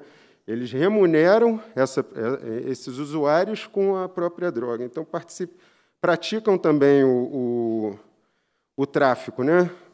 Bom, eu deixo nessa primeira operação, nós conseguimos recuperar é, baterias estacionárias, é, é, cobre, fiação. Na segunda, no ano de 2019, Operação Choque de Ordem, é, juntamente com, com o primeiro departamento, é, é, nós buscamos agregar ainda a receita estadual, tendo em vista que há uma flagrante sonegação fiscal. Esse, esses grupos se beneficiam dessa ausência de recolhimento, esse prejuízo horário. Então, nós trouxemos aí a, a, a Receita Estadual, além da, da Guarda Civil, empresas concessionárias, CEMIG, CBTU, inclusive há pouco tempo as linhas de, é, é, do metrô de Belo Horizonte elas, elas quase pararam em razão de um, de um, de um, de um furto, né? E nessa segunda operação também fizemos aí ampliando não só para a região da, do hipercentro, como também Contagem e Betim. Né? Nós identificamos o que? O fluxo criminal. Essa pessoa, o, o indivíduo furta, né? geralmente com, com é, essa pessoa morador de rua, como, como bem falado pelas outras explanações, é, em seguida, eles passam para pequenos é, receptadores e, na sequência, na cadeia criminosa, para indivíduos maiores, que, que fundições, enfim. Então, nós passamos a concentrar a operação em empresas maiores, essa segundo, esse segundo plano. E, e também tivemos, conduzimos é, quatro proprietários, foram é, conduzidos à delegacia em, em flagrante, inclusive com é, receptação qualificada, né, que tem de 3 a 8. É, tivemos aí porte de arma de uso restrito e numeração raspada. Enfim, um, uma gama de crimes, além da, da, da, fiscalização da Receita Estadual. Em um desses alvos, é, ela foi muito bem sucedida, a Receita ela, ela, ela é, arrecadou um material imenso que possibilitou aí a abertura do processo administrativo tributário, mas a parte criminal ela só entra após esse processo, né? após o, o contraditório, após o, o, o, contribuinte supostamente se negar a recolher, porque ele tem algumas oportunidades de extinguir a punibilidade. Bom, é, nós e eu acredito que essa situação tenha é, aumentado justamente por esse, por essa, esse valor da, do material agregado. Agora também em, em junho desse ano nós prendemos uma quadrilha através da segunda delegacia Noroeste, prendeu uma quadrilha que deu um prejuízo de cerca de 24 milhões subtraindo é, material de telefonia. Né? É, nesse caso é interessante é, é, que eles não eles vendiam como sucata, apesar de ser um material extremamente é, caro, né? Aí eles subtraíam uma placa valendo 10 mil e vendiam por cerca de 300 reais. Então, sem sem saber o, o real valor daquele, daquele material que estava sendo subtraído. Bom, finalizando, é, estamos, continuamos o, nos levantamentos aí, sempre focados em quem fomenta, em quem é, distribui o dinheiro, incentiva esse tipo de, esse tipo de crime, que é o receptador. E, e eu faço uma sugestão, presidente, até é, é bastante é, que, eu, que eu acredito que seja é, para unir o, os esforços significativamente, através da Polícia Militar, é, Guarda Civil, demais é, vítimas desse interessados no, no combate. É, nós temos aí um, um, grupo de intervenção, né, que é, trazendo o Ministério Público também, o, da gente poder indicar alguns alvos, algumas, é, é, é, principalmente de receptadores e também de indivíduos que furtam, procurando aí qualificar essa investigação, atuar junto é, às varas criminais, às varas de é, a, a, a, vara de inquérito policial da capital, é, trazer ele, é, trazendo a eles essa essa demanda expressiva, esse prejuízo social que, que nós estamos vivendo em razão dessa, desse crime, é fazer um grupo para traçar estratégias no sentido de, de conseguir retirar de circulação, principalmente é, receptadores. Né, né, foi dito também a participação da, da, da própria prefeitura. Na última operação, eles interditaram quatro, é, quatro galpões, né, quatro empresas que estariam só que é, as empresas elas mudam de lugar, elas são dinâmicas. Você vê a utilização de laranja, falsidade ideológica. Então, a gente está diante de, um, de, um, de, de uma existência de uma cadeia criminosa complexa. Né? Então, eu sugiro é, que, que senta, é, formarmos um grupo é, para realmente focar é, trazendo, como o, senhor, como o senhor havia dito e havia informado, trazendo a responsabilidade também para o Ministério Público e para o Judiciário Mineiro. Bom, é, é, mais ou menos isso é, é a minha explanação sobre, sobre isso. É, se alguém tiver alguma questão, abra aí a palavra. Ok, é, é, doutor Hugo, é, eu entendo também que essa força-tarefa, quando o senhor falou do município, eu comentava aqui com o Coronel Webster, deputado João Leite, infelizmente não é todo prefeito que sabe é, como atuar em segurança pública. Uhum. Se os prefeitos soubessem como, como que a prefeitura atua em segurança pública, ajudaria muito a Polícia Civil e a Polícia Militar. Mas, infelizmente, no Brasil isso ainda vai levar muito tempo. É, o Código de Postura Municipal é uma ferramenta muito importante é, para exatamente fechamento dos estabelecimentos. À medida que a Polícia Militar detecta uma ocorrência, faz um REDS, que encontrou ali, ou a Polícia Civil, numa operação policial, consegue interceptar um, um receptador dentro de um estabelecimento comercial, qualquer que seja ele, ele tem que ser fechado. Então, infelizmente, a prefeitura precisa ter essa dimensão, ela precisa saber, entender que ela é muito importante nesse processo. Então, nós vamos, é, inclusive, propor um requerimento, deputado João Leite, para que a força-tarefa possa abranger o, a, o Ministério Público, da vara de inquéritos, que é muito importante, uhum. para que chegue ao Poder Judiciário é, o que o senhor colocou é, as consequências, os impactos sociais. Eu comentava aqui com a deputada Laura e com o deputado João Leite o que foi o apagão lá no Amapá. Uhum. Acho que é o exemplo que nós tivemos o que foi o corte do fornecimento de energia, agora mais recente, e as consequências que nós podemos ter aqui num, né, nesse tipo de corte, deputado João Leite. Hã? Lá é na faga, deputado João Leite. Então, nós vamos propor um requerimento ao Procurador-Geral de Justiça, ao presidente do Tribunal de Justiça, ao chefe da Polícia Civil, ao comandante da Polícia Militar e à Secretaria Municipal de Segurança Pública, né? e me parece que a, a Secretaria de Regulação Urbana, uhum. porque a Secretaria Municipal de Regulação Urbana tem poder de fechar o estabelecimento, uhum. para uma força-tarefa e aí, obviamente, fazendo aquilo que o senhor falou durante a fala do senhor. Fazer uma, ah, uma atuação é, com monitoramento de alvos, né?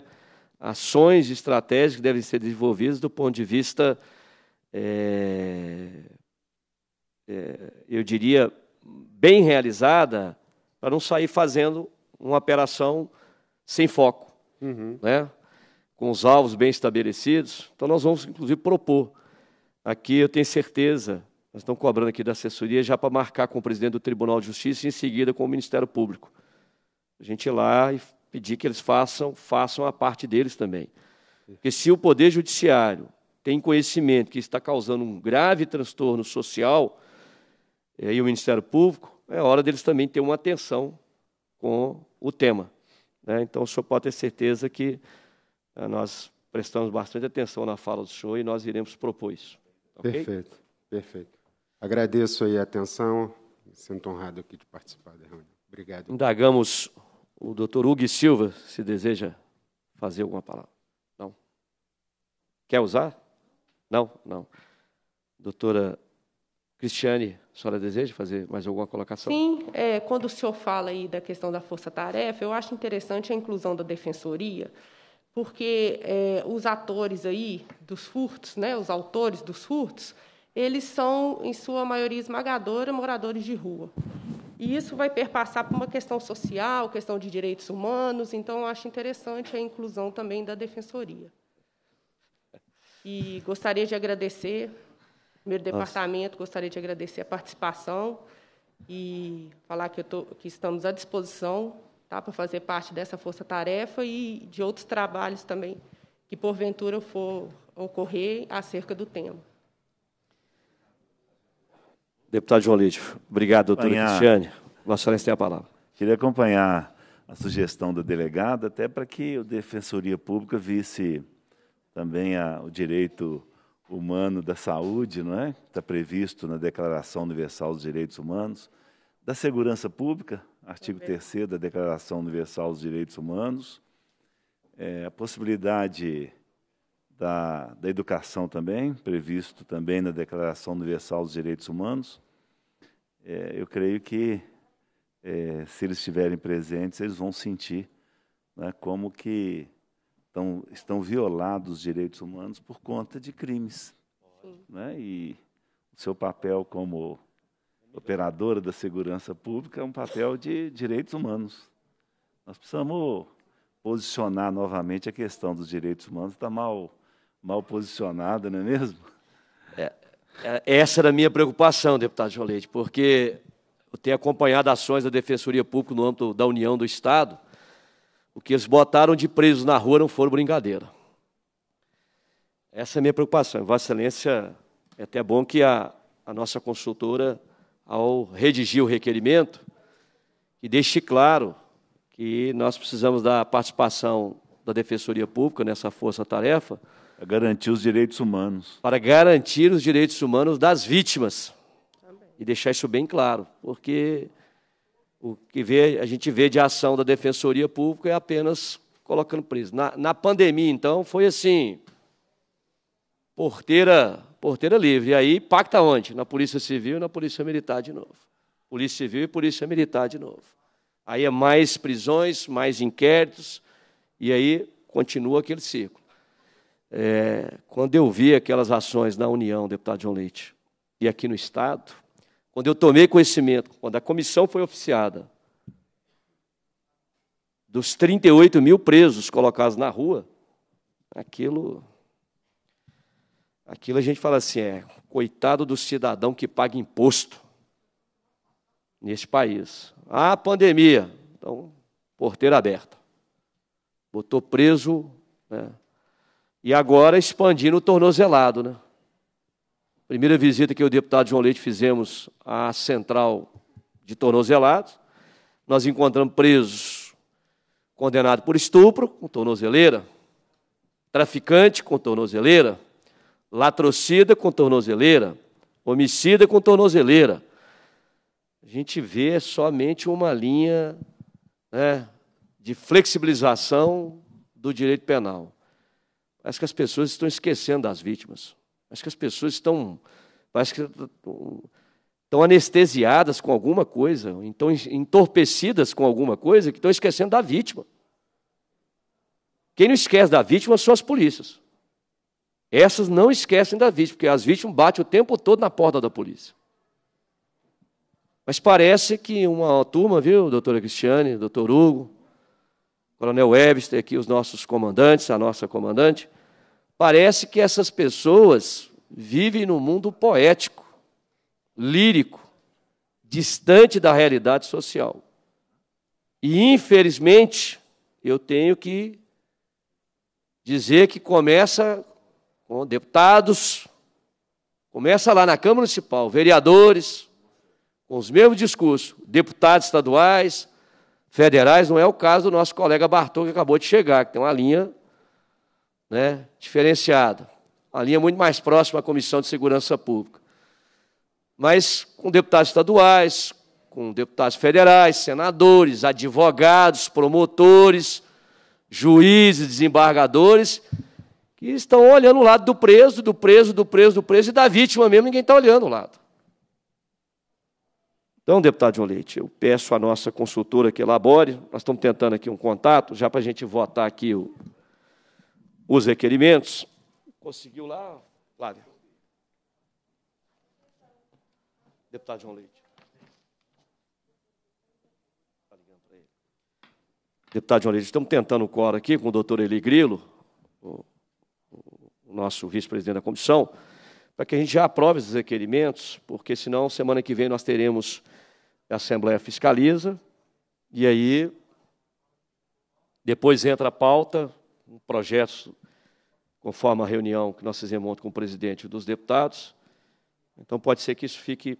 Né, semana que vem, por exemplo, não vai ter espaço para nenhuma extraordinária de comissão. Ah, por isso que é importante a gente votar os requerimentos agora, para que a gente, inclusive, aqui os nossos participantes. Eu quero aproveitar, deputado João Lito, para mais uma vez é, dizer aos nossos comandantes de batalhões que aqui se encontram que nós não vamos descansar, faço aqui um compromisso com os senhores e com a senhora, enquanto essa questão, eu comentei aqui com a deputada Laura Serrano, enquanto a gente vai falando aqui, tem todos nós acabamos utilizando né, o WhatsApp para continuar o, o, trabalho, né? Não para, né? Não. A gente está aqui debatendo, está. Trabalhando. O, o secretário Igor Eto vai nos retornar no final do dia, marcando a agenda, deputado João Leite, para encontro com os membros da Confim, onde nós estaremos cobrando presencialmente os membros da comissão a questão dos excedentes, o efetivo da Polícia Civil, da Polícia Militar, do Bombeiro, do sistema prisional, e nós vamos aproveitar para levar essas outras duas questões. A outra questão que eu quero fazer questão de levar para o secretário Igoeta é essa questão do acesso à senha do tornozelado. Essa é a questão de decisão de governo. E, então é, é bom que ele, é, uma vez explicado para ele direito, com quem realmente é do ramo, ele vai entender da gravidade dos fatos e com certeza tomará uma decisão mais acertada. Mas eu quero aqui dizer, aproveitar a presença dos senhores e da senhora dizer que nós não vamos descansar. A Polícia Militar tem que ter acesso, não é porque o, o secretário A, B ou C deseja ou não deseja, é porque existe lei. E lei não é para servir de enfeite na prateleira, não. Né? Se for para isso, então nós temos que fechar o parlamento. Né? Então não precisa de leis. Então nós temos aqui, eu fiz questão de, de imprimir a lei aqui e mostrar ao coronel Webster o tanto que essa lei ficou muito bem amarrada. Até bom, deputada Laura, a senhora pudesse ter acesso. Essa lei é, é de nossa autoria, de 2001, exatamente para evitar. O caput do artigo 1 já diz tudo. A Polícia Militar e a Polícia Civil têm que ter acesso ao sistema de informações disponível nos órgãos da administração pública. Lá não falou qual secretaria que era. Órgãos da administração pública. Então, não, não cabe a resolução do CNJ vir dizer aqui que a lei estadual pode ser descumprida. Então, essa é a lei objeto que a gente precisou aqui cobrar. Conseguiu? Deputado João Leite, passa a palavra a Vossa Excelência enquanto eu faço contato aqui com o deputado Aligrilo. Eu queria sugerir, Vossa Excelência, que suspendesse por alguns instantes para despedirmos dos convidados porque aí é, nós poderíamos aguardar o quórum. Ok. É, o, tanto a deputada Laura quanto o deputado Bartô, que agora chega, colocando a máscara, é, são suplentes nessa comissão e eu sou o titular, então eles não podem me substituir. Nós precisamos encontrar. Eu queria sugerir a Vossa Excelência. Então. Ok. Presidência é, presidência passa a palavra ao deputado Bartô para suas considerações. Boa tarde, presidente. Boa tarde a todos. Estava é, acompanhando ali pela TV Assembleia no começo, aconteceu um imprevisto, depois teve outra reunião, então tive que me ausentar, mas acompanhei bem o começo aí da, da reunião. E, como presidente da, da Comissão do Consumidor, queria só ressaltar... Deputado Bartô, é, por gentileza, a, a máscara. máscara. A máscara.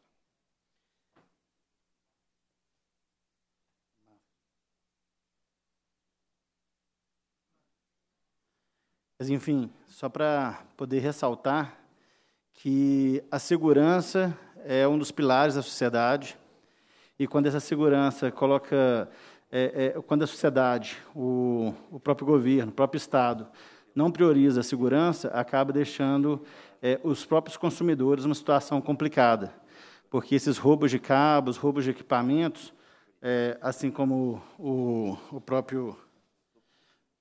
Vou colocar aqui essa máscara aqui.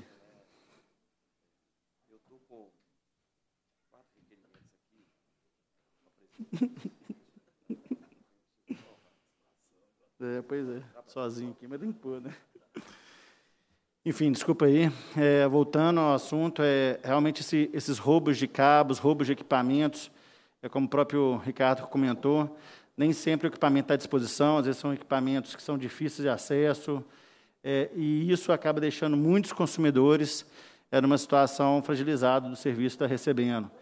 Então, é, a gente bate muito nessa tecla que a ideologia liberal é focar em segurança, saúde, educação, infraestrutura e mais nada, onde o Estado vai estar sempre atento às questões que são realmente pertinentes a garantir que cada cidadão é, consiga prover né, seu próprio empreendimento e atender o resto da sociedade com segurança, de explorar ao máximo o seu potencial uma vez que você coloca um Estado para poder fazer tudo, ficar de olho em tudo, acaba que se deixa de lado esses setores são tão importantes. E a gente vê, né, como aqui comentado, que tem um ladrão que roubou já 49 vezes, já foi pego 49 vezes e continua solto. Né? Então, aí chega até ser até um pouco desanimador para quem é da segurança, que tem que estar tá correndo atrás, prende, vai lá e o juiz solta, as leis soltam. Então, o Estado, quando começa a ficar muito confuso, onde as pessoas não entendem direito qual é o papel do Estado, dá brecha até mesmo para a gente não passar desatento pelo olhar da sociedade como um todo, que pessoas como essa continuam livres e causando um grande transtorno para todo mundo, não só para as empresas que têm prejuízo, mas com os consumidores que não têm o serviço de qualidade, e bem como também até os atores da segurança que acabam ficando um pouco desanimados, uma vez que prende e vê ele na rua de novo, prende e vê na rua de novo. Então, só para deixar bem claro aqui, nossa posição também como presidente do consumidor, que a gente apoia muito a segurança para poder realmente, inclusive, trazer serviços melhores para a gente. Obrigado, presidente. Agradecemos ao ilustre colega deputado Bartô. Estamos agora com a presença do deputado e delegado Eli Grilo, deputado Gustavo Santana. Vamos aproveitar aqui já aprovar alguns requerimentos. Passa-se a segunda fase da terceira parte da reunião, que compreende o recebimento e a votação de requerimentos sobre a mesa os seguintes requerimentos assinados pelos deputados Sargento Rodrigues, João Leite e deputada Laura Serrana. Primeiro requerimento, os deputados, que os deputados e a deputada que subscrevem requerem, ah, na forma do artigo 103, alineado ao regimento interno, seja encaminhado ao presidente da Câmara dos Deputados e aos deputados federais individualmente pedido de providência para apoiar a séria tramitação e aprovação dos projetos de lei 5486, 2016, 5852, 2016, que altera a Lei 9.472, de 16 de 7 97, Lei Geral das, de Telecomunicações, para considerar clandestina atividade exercida por equipamentos e elementos de redes obtidos por meio criminoso, bem como dos projetos de lei 5845-2016, 5853-2016, que altera o Código Penal para estabelecer pena de reclusão por furto, roubo, receptação qualificada, interrupção ou perturbação de de serviço telegráfico, telefônico, informático, telemático ou de informação de utilidade pública, de fios ou de cabos de energia elétrica ou de serviços de telecomunicações, bem como os elementos de rede de equipamentos relativos à prestação desse serviço, considerando-se a relevância da modernização da legislação aplicável diante do exponencial aumento desses eventos em todo o país, gerando vários prejuízos de ordem econômica e social às instituições públicas empresas privadas, a toda atividade comercial e à sociedade de maneira geral. Requer, nesta oportunidade, seja enviado para conhecimento dos destinatários o link em que consta o inteiro teor da 23ª reunião extraordinária dessa comissão, realizada em 17 de 11 de 2020, que teve a finalidade de debater o problema de furto de cabo de transmissão de sinal telefônico e internet do Estado de Minas Gerais, que afeta significativamente os serviços públicos de saúde e segurança e compromete o trabalho de assinantes residenciais, que em sua maioria estão trabalhando. Né? Compromete o trabalho de assinantes residenciais, comerciais, em sua maioria estão trabalhando remotamente. Ah. Outro requerimento, também assinado pelos deputados Deputada Laura Serrana, Sargento Rodrigues João Leite. A deputada e os deputados que subscrevem requerem a Vossa Excelência os termos regimentais seja realizada a visita à Procuradoria-Geral de Justiça do município de Belo Horizonte para discutir sobre o aumento das ocorrências de furtos de cabos de energia elétrica, de transmissão de sinal telefônico e internet e outros equipamentos e elementos associados, bem como a grande repetência criminal, especialmente no IPC de Belo Horizonte, e a busca de alternativas para a atuação das instituições na mitigação dessa prática no Estado. Também requerimento seja realizada a visita ao Tribunal de Justiça no município de Belo Horizonte para discutir o aumento das ocorrências de furto de cabo de energia elétrica e de transmissão de sinal telefônico, internet e outros equipamentos e elementos associados, bem como a grande repetência criminal, especialmente o IPC de Belo Horizonte e a busca de alternativas para a atuação das instituições na mitigação dessa prática do Estado. A presidência solicita a consultoria que possa elaborar o relatório para que seja entregue ao presidente do Tribunal de Justiça e ao Procurador-Geral de Justiça, fruto dos debates desta audiência. O último requerimento, também assinado pelos deputados Sargento Rodrigues João Leite e deputada Laura Serrano. A deputada e os deputados que subscrevem requerem a Vossa Excelência, na forma do artigo 103, terceira linha do Regimento Interno, seja encaminhado à Secretaria de Estado de Justiça e Segurança Pública, ao Comando da Polícia Militar de Minas Gerais, à Chefia da Polícia Civil do Estado de Minas Gerais, à Procuradoria-Geral de Justiça, à Defensoria Pública de Minas Gerais e ao Tribunal de Justiça, à Guarda Civil de Belo Horizonte e à Secretaria Municipal de Segurança e Prevenção de Belo Horizonte, pedido de providência para evitar os esforços necessários para a formação de uma força-tarefa, para a atuação conjunta de órgãos, de todos os órgãos, no âmbito de suas competências, com vista a realizar um trabalho de acompanhamento e monitoramento, prevenção e repressão qualificada de furtos de cabos de energia elétrica, de serviços de telecomunicações e equipamentos associados, a exemplo da identificação de autores e receptadores, incluindo acompanhamento dos moradores em situação de rua. Esses são os requerimentos. Como vota, como vota o deputado Eli Grilo. Voto sim, senhor presidente. Como vota o deputado Gustavo Santana. O deputado Gustavo Santana vota sim, senhor presidente. Muito obrigado, Gustavo Santana. Obrigado, deputado Eligrilo. Como vota o deputado João Leite? Deputado João Leite vota sim, senhor presidente. Este presidente também vota sim, portanto, estão aprovados os requerimentos. A presidência indaga as autoridades aqui à mesa se desejam fazer alguma consideração final. Deputada Laura Serrano. Senhor presidente, é, eu gostaria apenas de, de destacar é, a qualidade da audiência pública de hoje, parabenizar a presidência pela realização dessa audiência, agradecer a todos os envolvidos e, e eu acredito que tenha sido uma reunião bastante propositiva e que a partir desses desses trabalhos que vão ser realizados em conjunto e que inclusive eu faço questão é, de acompanhar, eu espero que a gente vá ter é, resultados ainda maiores do que as expectativas. A gente já vê todo o trabalho sério que vem sendo realizado é, no sentido de, de, proteger o cidadão, no sentido de proteger a população é, de Belo Horizonte, de Minas Gerais. Mas eu, eu fico muito satisfeita. Assim, acredito que com esse, com o resultado da audiência, que não termina aqui, que sendo necessário esse acompanhamento próximo da Comissão de Segurança Pública, é, da Assembleia, junto com outros órgãos do Estado. É, eu espero que a gente vai ter aí resultados muito positivos e que isso faz parte do papel do Parlamento. Então, mais uma vez, é, parabenizar a comissão, é, ao presidente, deputado Sargento Rodrigues, ao deputado João Leite, aos deputados que nos acompanham também remotamente, que fazem parte da comissão, deputado Eli Grilo, Gustavo Santana, é, às forças policiais do nosso Estado, é, a todos que estão participando desse processo e que é assim que a gente vai chegar nas soluções que a gente precisa e nas melhorias que a gente precisa. Muito obrigada. Agradecemos a sua participação, deputada Laura Serrano, que muito contribuiu para os nossos trabalhos aqui na data de hoje. Deputado João Leite. Rapidamente, agradecer não é, a presença da nossa Polícia Militar, os comandantes, né, desejar sucesso em cada área de comando aí, no trânsito, né, cuidando da gente no trânsito.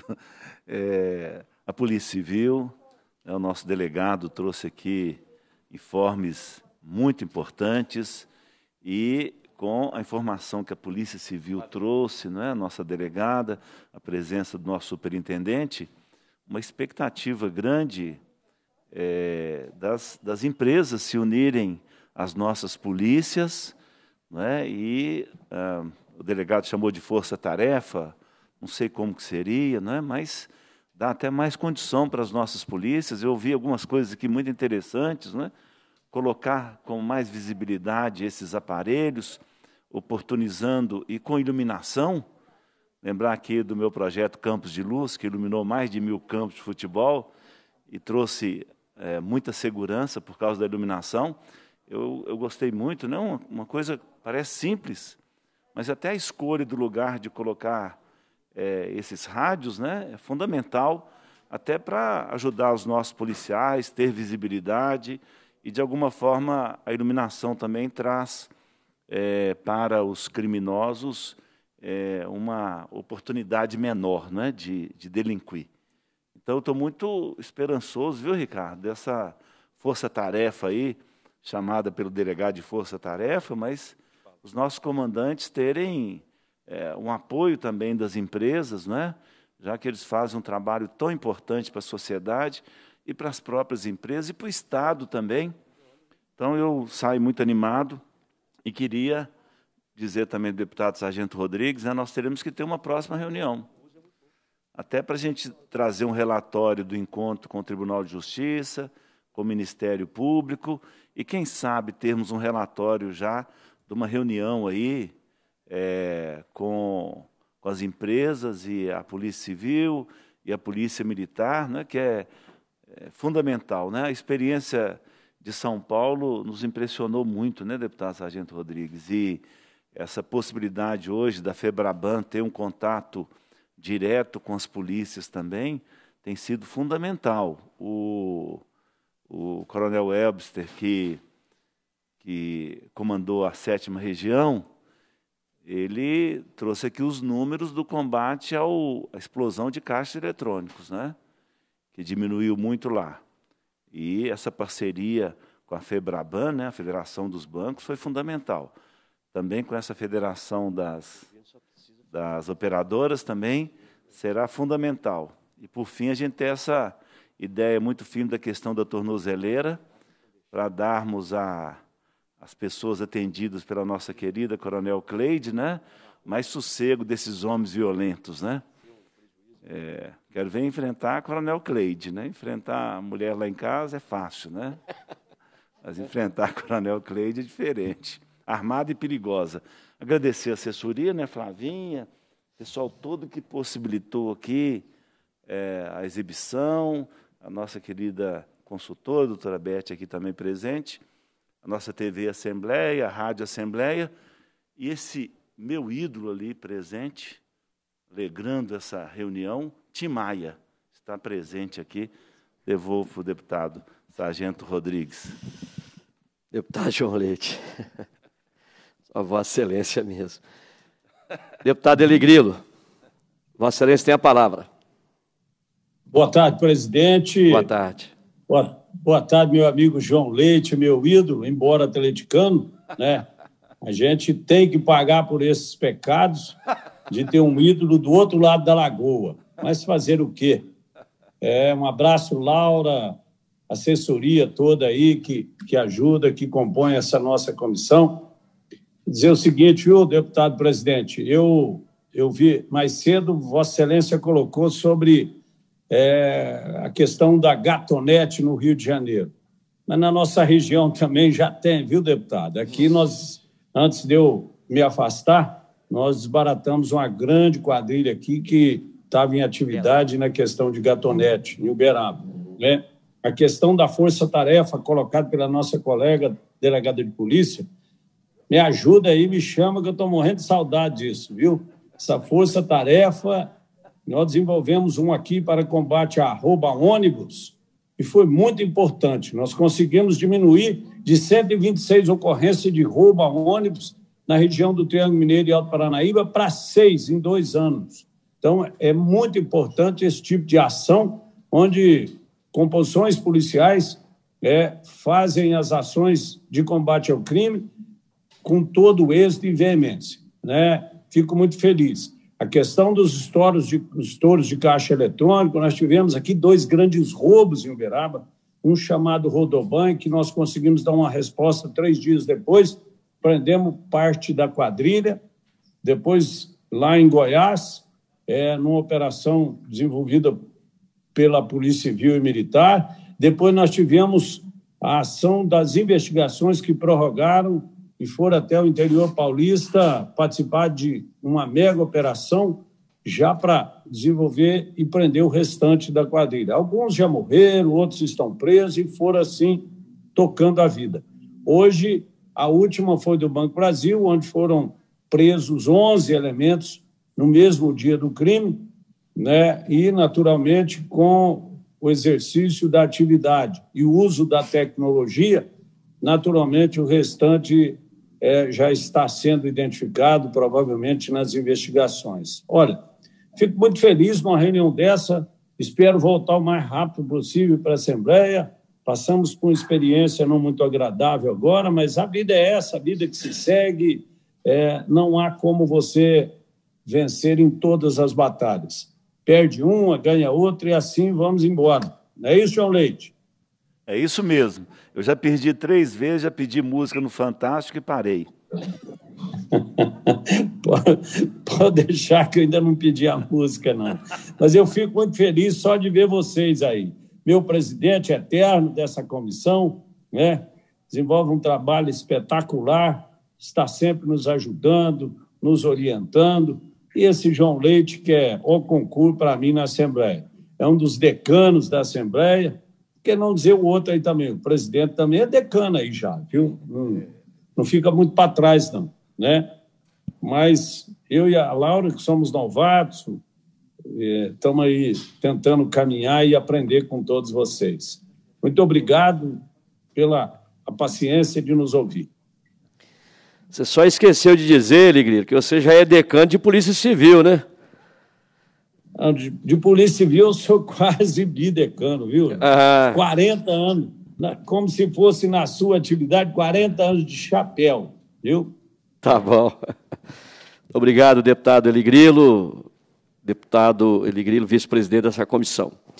Agradecemos a participação do deputado Eligrilo, deputado Gustavo Santana, da deputada Laura Serrano, também nos acompanhou mais cedo a deputada Celis Laviola.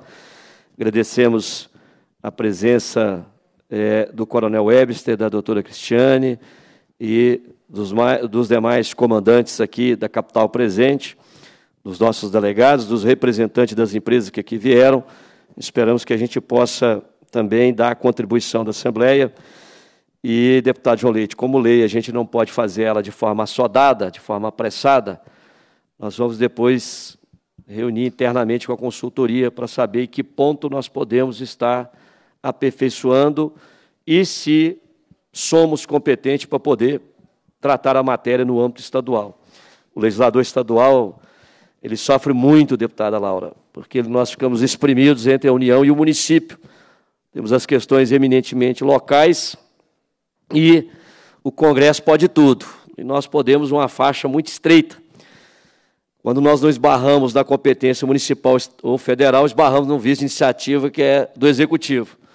Então, aqui para aprovar uma lei, você tem que ser, tem que fazer um contorcionismo danado para conseguir encontrar ali a lacuna da esfera de nossa competência. Muito obrigado a todos, que Deus abençoe a todos nós. Cumprida a finalidade da reunião, a presidência agradece a presença dos parlamentares, das autoridades, dos convidados, do público presente. Determina a lavatura da ata e encerra os trabalhos. Muito obrigado.